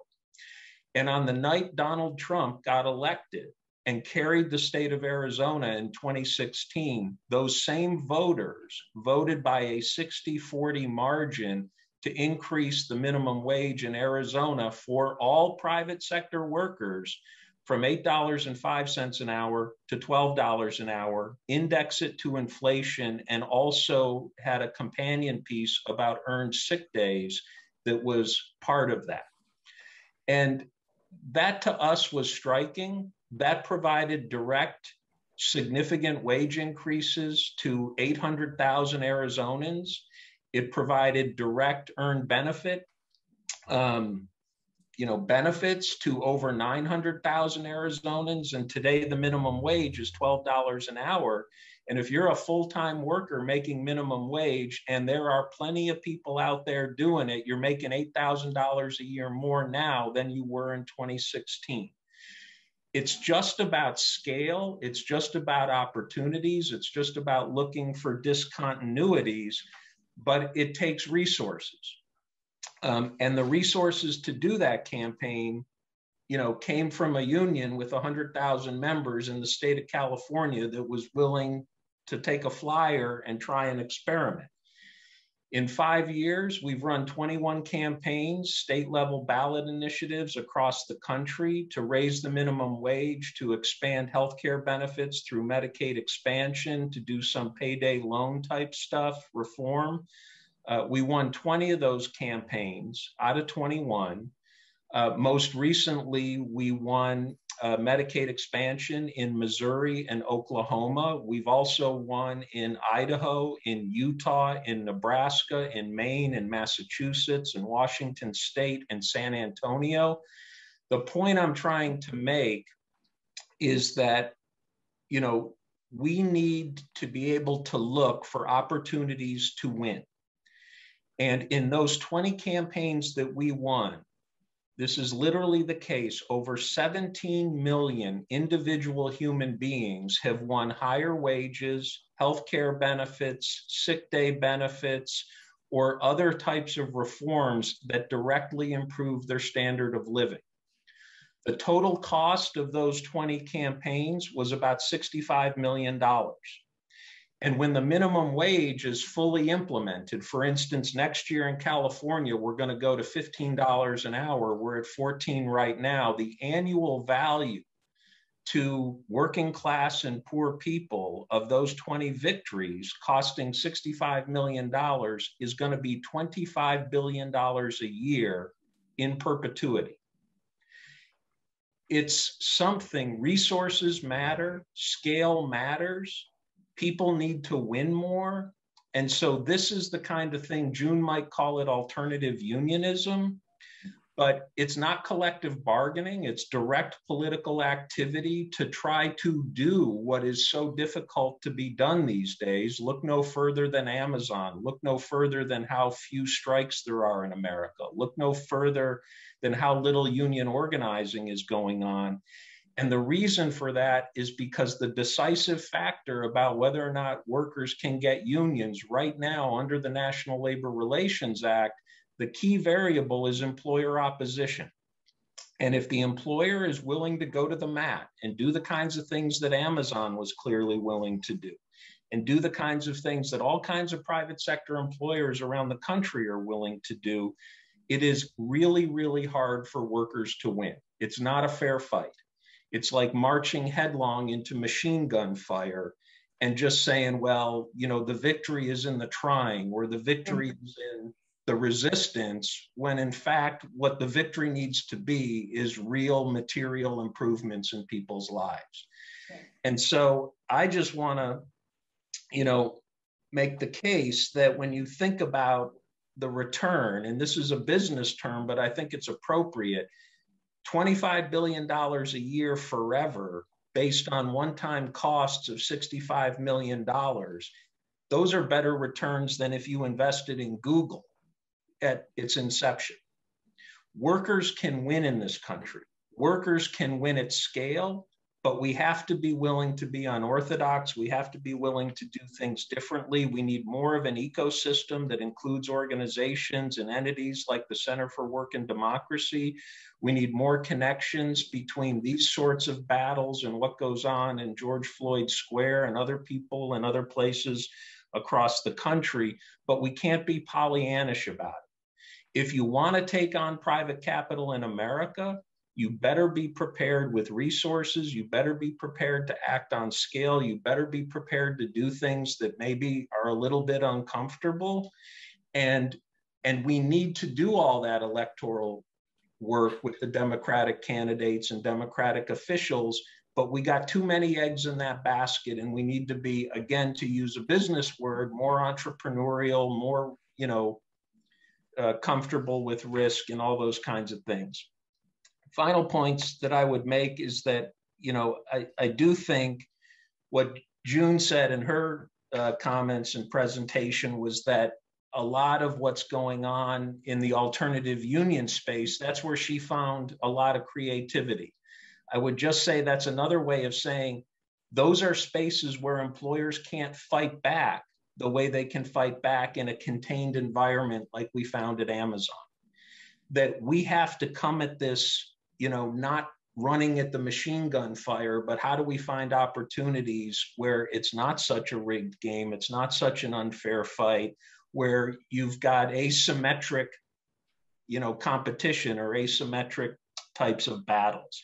So I think all of that makes sense. And again, I think the Center for work and democracy can play a role there. The last thing I want to say is that, um, you know, I'm hopeful, and the reason we at UHW are interested in the Center of Work and Democracy is because we think we got to have more activity.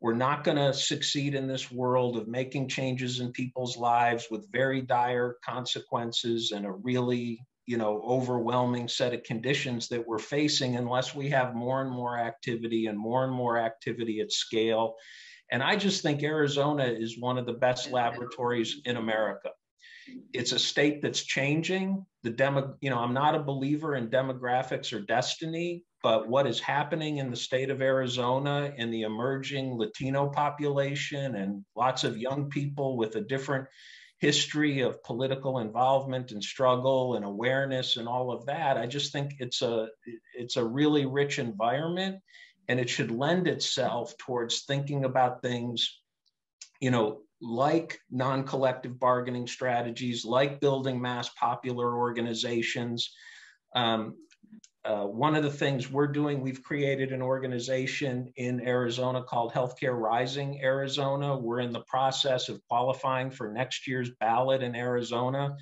uh, a measure that would reform the way consumer and medical debt is handled in that state. We're built, we will have 2,000 dues paying members by this time next year of people who are struggling with us for that. Again, with a sense that change can be made, with a sense that it can be done at scale. Uh, and we're looking forward just to the opportunity to continue to learn and work and struggle with everybody. Um, you know, because we are, despite everything in front of us, eternal optimists. We think we can win. We want to be there to win with you, and we appreciate your time and your consideration and looking forward to doing lots of good stuff together. So thanks very much.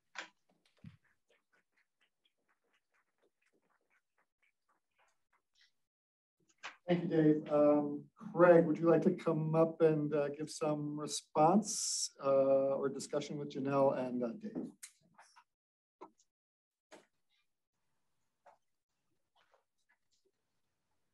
If no one minds, I'm going to take my mask off and be a little more clearly audible.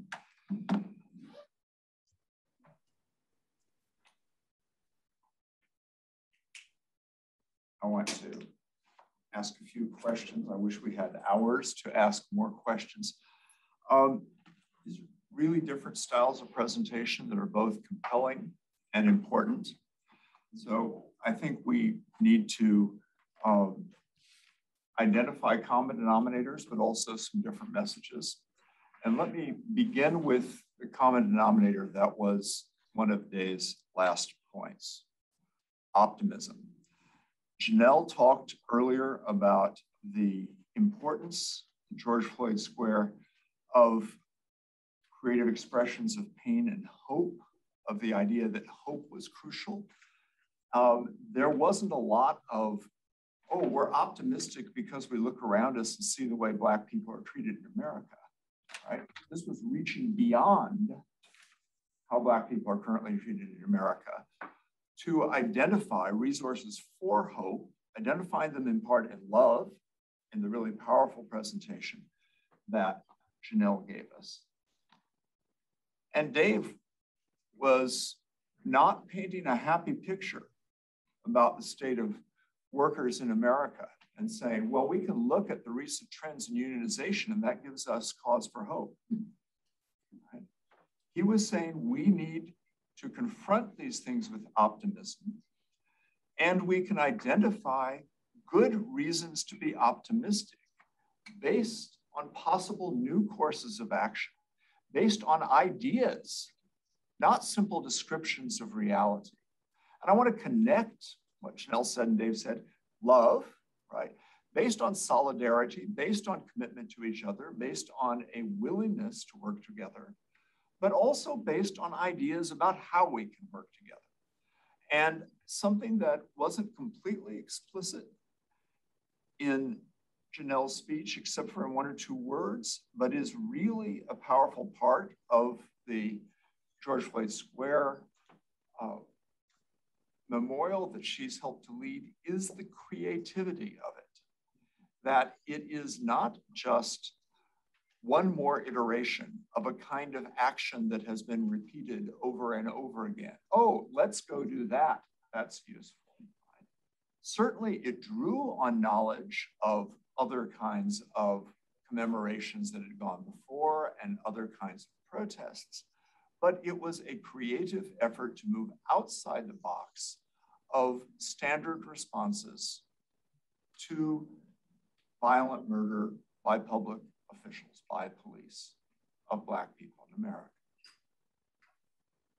And I think this is what Dave is calling for, and I think it's what the Center for Work and Democracy is committed to. Identifying paths to make a difference, including new ideas about how people can work together, and finding from these new ideas some bases for optimism, some bases for actually being committed to work together because we believe that life can be better. Now, I'm going to say just one more thing. Um, this isn't just about everything in life.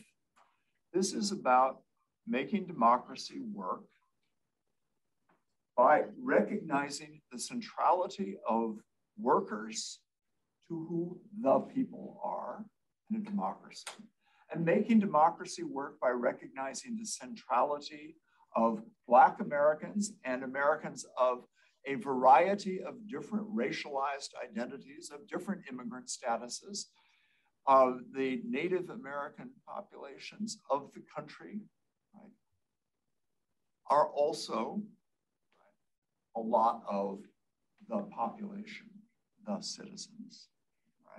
Blacks, women, indigenous populations, white men without property were all disenfranchised by the initial constitution. All have won greater rights over time. None have won full mm-hmm. rights over time.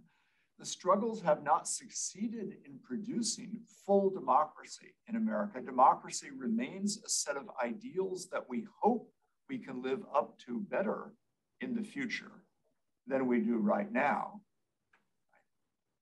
And the we is really important. Being able to say we, right, is constantly opposed by dominant forces in the media, by dominant forces in our politics, right? We, the workers in solidarity with each other, we, even all Black Americans, even all those who care about the memory of George Floyd, it's hard to get the we all together, let alone to then extend it across lines of race um, and other divisions in the country. But it's not an accident we're talking about work and democracy because of the centrality of work to constituting our lives together and the potential for that we.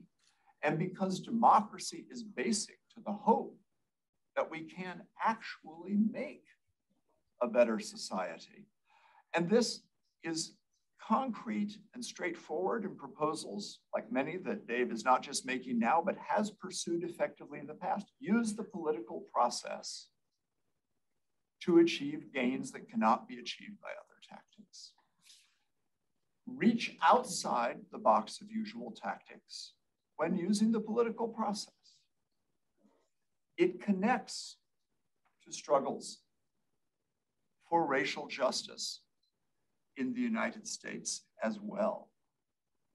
Voting rights, for example, is a combined Black and Union issue in this country. Voter suppression is the suppression of votes that are needed by both Black people and all the Union people that we can think of.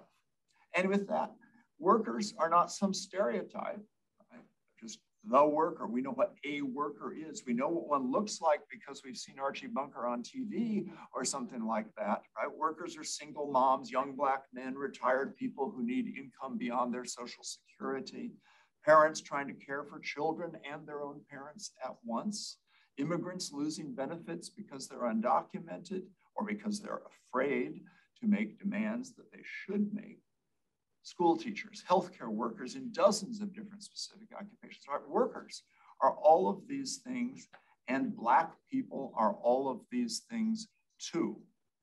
Right? Everything on that list. So there's got to be potential solidarity.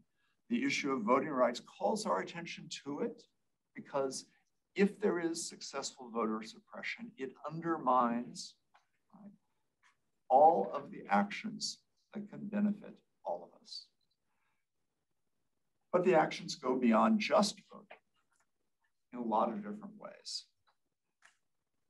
I'm going to stop talking now. We're running late on time, but I want to pose a couple of questions just to hear again from our inspiring speakers. First, I want to pose a question to Jeanelle, though it may be one that Dave wants to weigh in on too.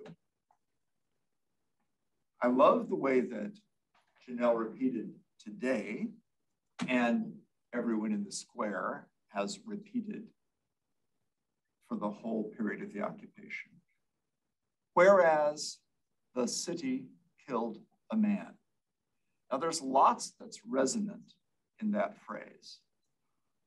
One feature is an idea of collective responsibility that is refusing to say this is just the misconduct of one officer.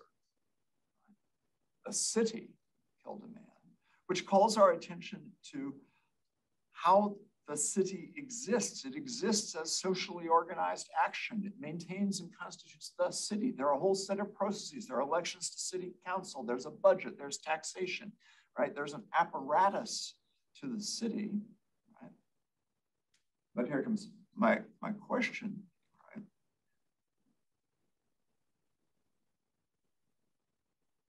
Can the city be held accountable without transforming what the city is? Can the city be held accountable? Made to answer to collective responsibility without transforming what the city is in a basic sense. And I mean that where the city is both Minneapolis, but also more metaphorically, right? A social organization we live. I'm hoping for more than a yes or no answer. Did not frame it as such, so I have an out. Um, um, you know, it was so fascinating over this past year. Like, uh, I, I would have politicians respond and say, well, Jeanelle, the city is the people, the city is all of us, right? Um, knowing good and well that the city is also this, this compilation of um, systems and structures um, that exist to protect them itself. Um, and the way that our political, system, political systems are shaped and formed. Um, no, I, I think I think the, the accountability requires transformation, right? Because again, protests exist to disrupt business as usual, to signal that there is something wrong. If business as usual in the context of the city government, the city systems, the city processes, um, the, the city infrastructure is oppressive, then there has to be some kind of transformation for it to no longer oppress citizens. So for example, when people often talk about this concept of safety, that has been the trigger word for this last year. Who's safe? Can we be safe? Um, oftentimes they are not referring to uh, Joe, who is a, a black man in our community. I'm so glad his name is Joe. Um, who's a black man in our community um, who has lived a challenging life, who has done time, who has felonies, um, but um, is also doing the work to change not only the way in which that he lives out the rest of his life, but also make it better for the youth in the community. He has a past, but he also sees a better future for himself. However, the way the, the system works within the city, um, Joe is just a black man who makes white people feel unsafe because of his tattoos, right? Because of his dark skin, because of his posture, because of the way he speaks and moves. Um, so if if the city doesn't change the way in which it allows systems to perpetuate uh, racialized stereotypes um, and racialized oppression and, and racialized ideas in the minds of residents, right? Um, we will continue to see more lynchings. That makes sense to me. I, I agree, but I want to push back and ask sure. one more question, which is you say this encourages white citizens in Minneapolis, but blacks too, right? And I'm thinking of things like the New York mayoral election, where we saw the security issue mobilizing um, not only white votes against progressive black candidates, um, but um, being used to mobilize black as well as white citizens on a security issue towards a pro-police campaign um, that seemed at odds with the protests of only six or eight months before. So whiteness is an ideology and you don't have to be white Right. to be white. Okay. I will, I will buy that. and I'll say it's an ideology that, that, and I, I mean, I think that's the right answer. Is it also an ideology that fits in alongside other things? So it's not just the ideology of whiteness here, that there's an ideology of safety and security, and there's an ideology of um, um, prosperity, uh, an ide- ideology of property, right? So there are people, oh, I- you know, I own a house, so I'm in a different position from those other people. And that we have trouble thinking all of these together at the same time. And we tend to get distracted by one at a time. Yeah, and I mean, I would even say that like those other ideologies even flow out of the constructs of whiteness that have been built over centuries and, and in this country, right? Because when you're dealing with the constructs of racism um, in America, it's deeply tied to capitalism, right? Like black bodies, free labor, make a lot of money, and then all of a sudden you're trying to protect your property. All of a sudden you're trying to uh, figure out how do you keep me in mind. Like all, like all of those things have evolved, and those ideas have evolved um, in the pursuit of more wealth, and then protecting my wealth and protecting and making sure that it only goes a certain direction, maybe to my kids, um, or maybe not my kids if I don't like them. but but this this pursuit, um, Dr. Um, Willie Jennings at Yale, he talks about whiteness as this idea of um, becoming a self-sufficient white male. Um, and in, in that pursuit, well, what does it take for me to do that? That I have to secure my stuff. I have, I need police to protect my property. I need, um, or to, to protect my own body to make me feel safe against whatever makes me, will keep me from achieving this I, idea of becoming a self-sufficient white male. So I, yeah, so I think those ideas, ideas are real as well.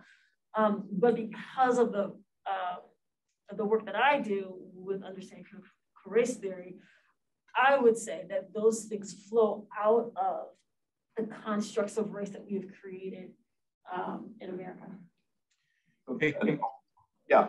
Can I can I offer something here? And it's I, I know these are are deep and complicated issues. I, I you know again this what we think a lot about in our organization is how do we as unionized healthcare workers who have a broad array of interests right where you where the base is your workplace and your work life but obviously that's a piece of who people are.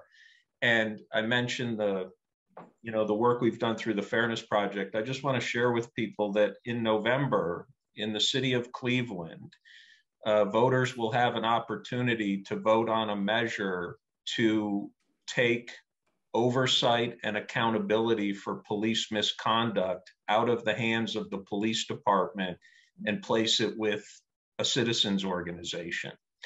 Um, this is just, this is something where we've worked with activists and people in Cleveland, including, you know, the family of Tamir Rice uh, and others.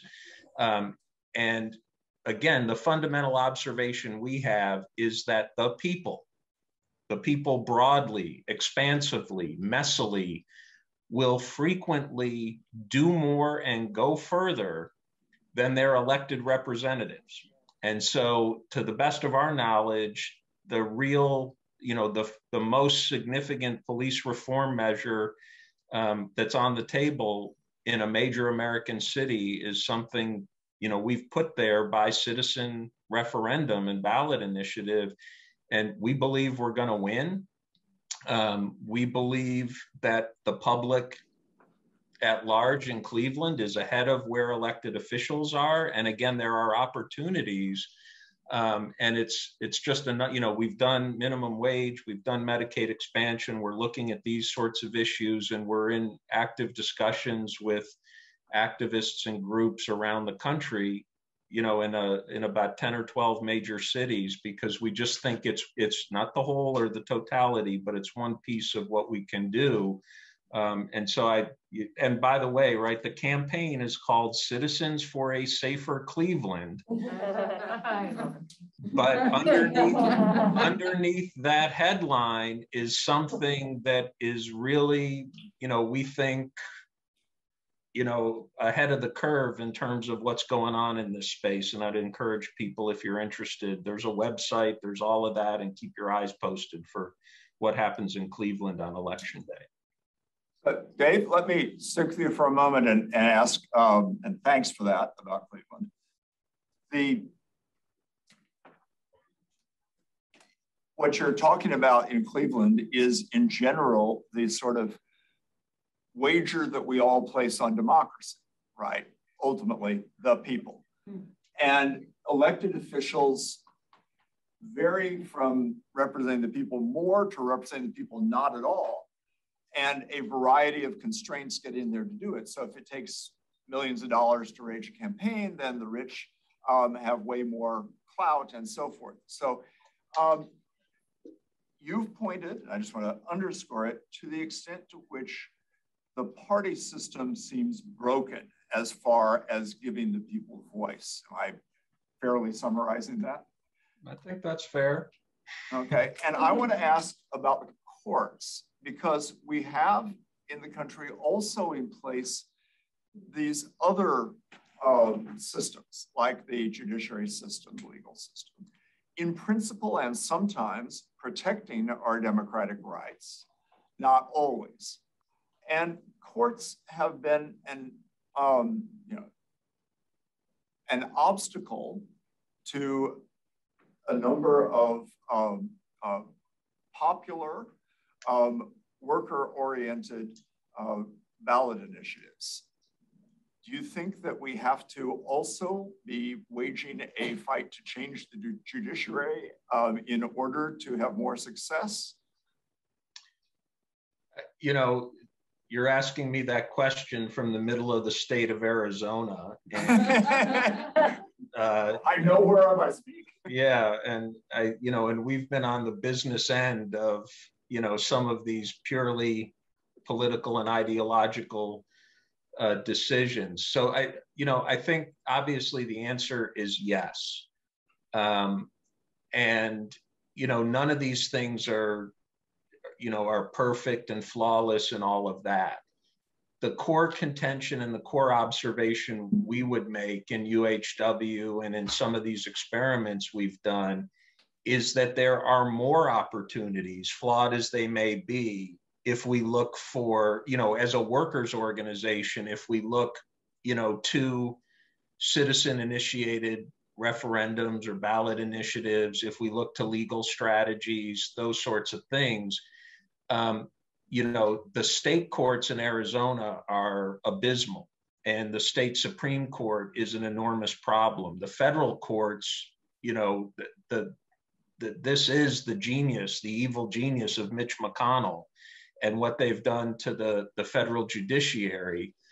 But having said that, you know, it's still, when you think about the systems we're confronting, capital, systemic racism, all of that, as flawed as it might be, you know, the voters and the courts are a better wager than representative government, in my view, that will you know, and we ought to contest every area of terrain, but we ought to do it with our eyes open. Um, and I think a state like Arizona, and it, I'm trying to do this from memory, I can't recall, I, I believe your state Supreme Court is appointed, not elected. Um, I could be wrong about that, but I, I think the state judiciary in Arizona, you know, the federal judiciary is just a whole different kettle of fish, and it's hard to get at that. But we can do something about the state judiciary. And I think, you know, in Arizona in particular, there's a premium on that. That makes sense. One of the features of, of our situation is time back to Jeanelle's points, where she said how much flows from whiteness. There's a lot that flows from capitalism. And these sort of converge. We've never had capitalism except in the form of racialized capitalism, yeah, exactly. right? So there is no other variety. um, back to the slave trade, back to the whole history of it. Have we had um, institutions or settings or spaces that give us more hope about um, gaining leverage um, against that. So I I, you know, are, have there been the union? We haven't had a union movement that hasn't been racialized either, but we've had examples of unions that did extraordinary work overcoming some of the racial divisions that capitalism promotes. We've had examples of social movements. The, you mentioned um, the Poor People's Campaign that Martin Luther King was organized when, organizing when he was murdered, which was linked to the freedom budget of Bayard Rustin and to a whole broad campaign that was designed to at once reflect the racially based civil rights movement and transcend it, right? So do we, is part of what gives us hope some things like this? I feel like those examples um, expose more so the feelings of hopelessness because we live in a country, we, we live in a country that the moment people try to start moving us in a different direction, they kill us, right? um, or they, they find a way to stop it or defund it or curb it or silence it so that people don't pay attention to it. Um, and I and I think that is our ever existing challenge as a people, and that is why collective movements are so necessary, because we need to be able to have a critical mass of people, but it can't just be for like a, a spot on the the annual calendar. Like it can't be like, okay, two weeks, I got my protest out, I'm going home, right? um, we have to be able to, to offer our lives up for a sustainable commitment to change. Um, I like to say that justice is a way of life. And, um, and I think what gives me hope more so is it, right now is the youth and the younger generation in which um, they are willing to go without to see somebody else actually have a chance at life and living. Um, and I hope that that's not washed away um, by adulting um, and, and being shaped by society to start like paying bills and get a job where you clock in. I got, I got to tell you, from my perspective, as somebody in his 60s, um, the, yeah, there is a lot of this. I'm, I'm not making this a joke that, that um, and I, I make as a question today. Yeah. Organizers, union organizers, other kinds of organizers, activists, activists for racial justice, um, burn out. They do. They have, uh, you know, periods of their lives that they give to this, and then they just have to go recharge their batteries. Right. And so I'm not sure that we can place our hope in people giving all of their lives all of the time enduringly. Some of the hope has to be where you put it with memory. What is going to keep inspiring new waves of people to join up? But here, but here's the thing though, but this is where it comes back to what you what you pointed to is that we have to have a creative imagination, right? Of yep. how we do this. Yep. Like, what then does it look like to say, let me take who I am, my job, my skill sets, my work, and bend it towards justice, right? On an everyday basis. And so I'm constantly challenging the systems in which I live. And I say, this is where George Floyd gets it right. George Floyd Square, sorry. George Floyd Square gets it right. Is that the, the anchoring of the protest comes from residents, uh-huh. comes from homeowners, mm-hmm. comes from neighbors. It's not a kind of occupation where people right. pitched their tents and said, I dare you to move me.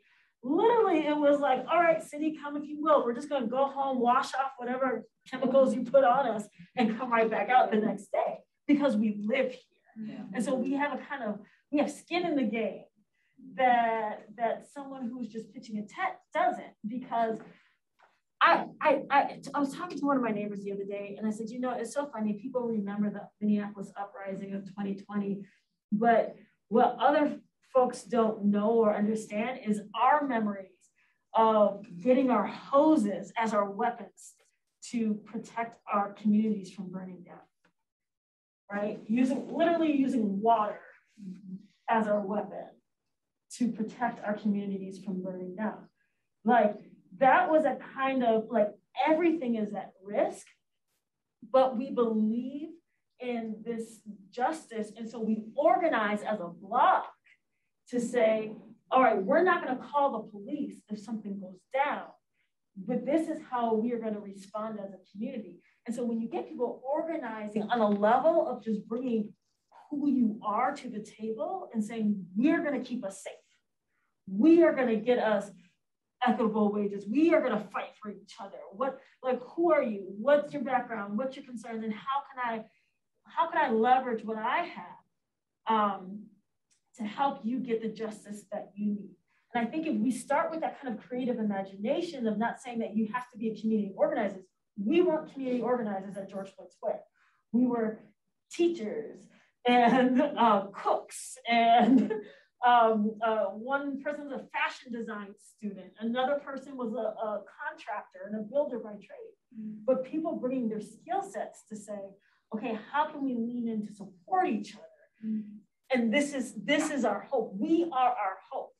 We keep us safe. We will get that justice. So on a labor organizing level, what does that look like in the same way to say, you have your job security, but can you care about mine? Well, one of the great things um, I'd say is some of the work that um, UHW has led is that it is precisely that, right? So part of what Dave was telling us about is 100,000 workers devoting some of their resources to try to secure benefits for millions, right? Not just for themselves. Right. And that's love. And that's what you're talking about. That's right. love, right? That's love. And, that's love and justice. And transformation, right? Because that's saying that we can't just do this in our small community. We have to do it in a larger transformation. Right. And it's more sustainable. And it, I think it's a, I appreciate that point, Craig.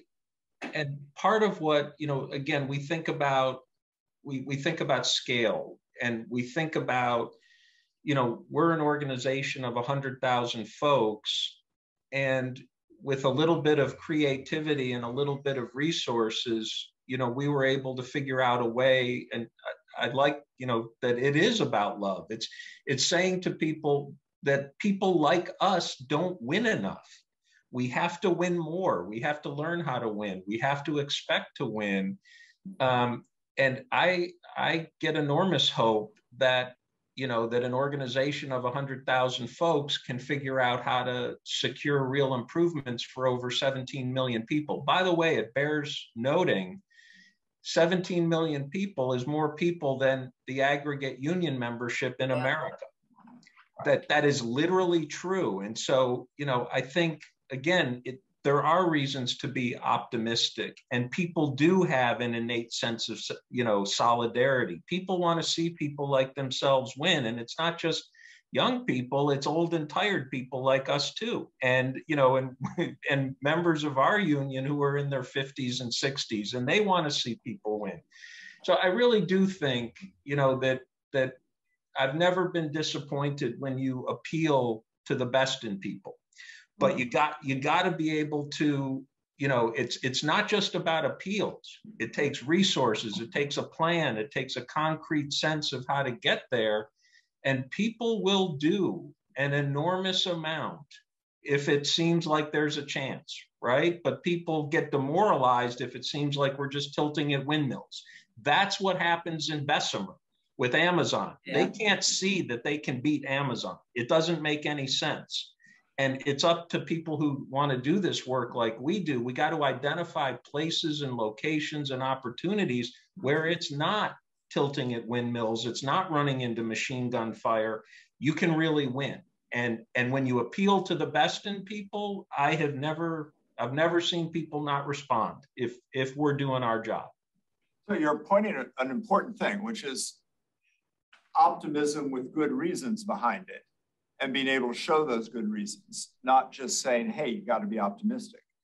So that makes sense to me. Let me pull one last thought from the accounts of the square um, and, and pose it as a question to Dave, though, because I think something very important about the square is, and, and you were just stressing it, Jeanelle, is the sense of community, right? Not just that people were actors on behalf of a community or for a community, they were a community. So one of the greatest um, achievements of the square was mobilizing a local community and it shaped lots that you did, right? I mean, that all of the different demands had to be there because somebody thought each one of those was crucial, right? So the community was important. The place was also important. You were commemorating a place um, at that intersection, right? Um, and place-based community tends to get devalued often in lots of American society and decision making. And we can go to how Walmart locates stores and what happens, or any of a whole variety of different um, examples. What I want to take back to Dave is by choosing a strategy that bets heavily on democracy, um, you're pursuing a strategy that also has a pretty strong place emphasis, right? So the organizing is going to need to be by state or by municipality or with a strong place um, sense of solidarity. Is that fair? No, I think it's it's absolutely fair. And you know, and just the reality of our organization is, you know, we're in the largest state in the country, 40 million people in California. It's this enormous place and frankly, when you look at a state like Arizona, it seems, you know, Arizona's got two thirds the number of people of LA County. you know, it seems like we now you're going to hurt our feelings. Um, but they're wonderful. They're much better looking than the people in LA County. but like what's amazing about it, and, and I think that's what we've learned is you know, it, it is about place. We do think about it fundamentally at that level is what can you build in a given state like Arizona, like Utah, like Idaho, Montana, New Mexico, places we're looking at. And, you know, it's actually encouraging that, it, you know, I, I'm, I'm a total optimist that it can be done and you can build organizations with real depth, real community. We think we're doing that right now with Healthcare Rising Arizona um, and it, you know, and it is a place-based thing, and it, ge- you know, geography does matter in this thing that that we're looking at. So I think that's an accurate observation. All right, I think it's an accurate observation that if we talk anymore, we are just postponing the reception. but I want to close out by commending Michael McQuarrie for the work that the Center partly by building community among the people in the center. Mike, thank you. Thank you, Fred. Um, thank all of you for being here. Uh, I've really had a tremendous afternoon. Um, I'm sorry that we went a bit over on time and we didn't get to have as much conversation as I would have liked. Um, but we do have a reception now. We have some drinks and we have a little bit of food right now. Um, but I also want to note that um, uh, we are going to have drinks and dinner at my house after this conference, and I'm going to put the address on there so that anybody is here is welcome to join us. Um, and I hope that we can continue the conversation over uh, uh, a drink right now, um, and then um, at my house for dinner. Um, so uh, please try and make it to those if you can. Um, it should be an interesting conversation this evening. So thank you all very much for being here. Um, and uh, I hope that we can gather again soon. I'm sorry, Mary Martin. No, I was waving at Dave. I forgot. he was waving at us. Thanks, Dave.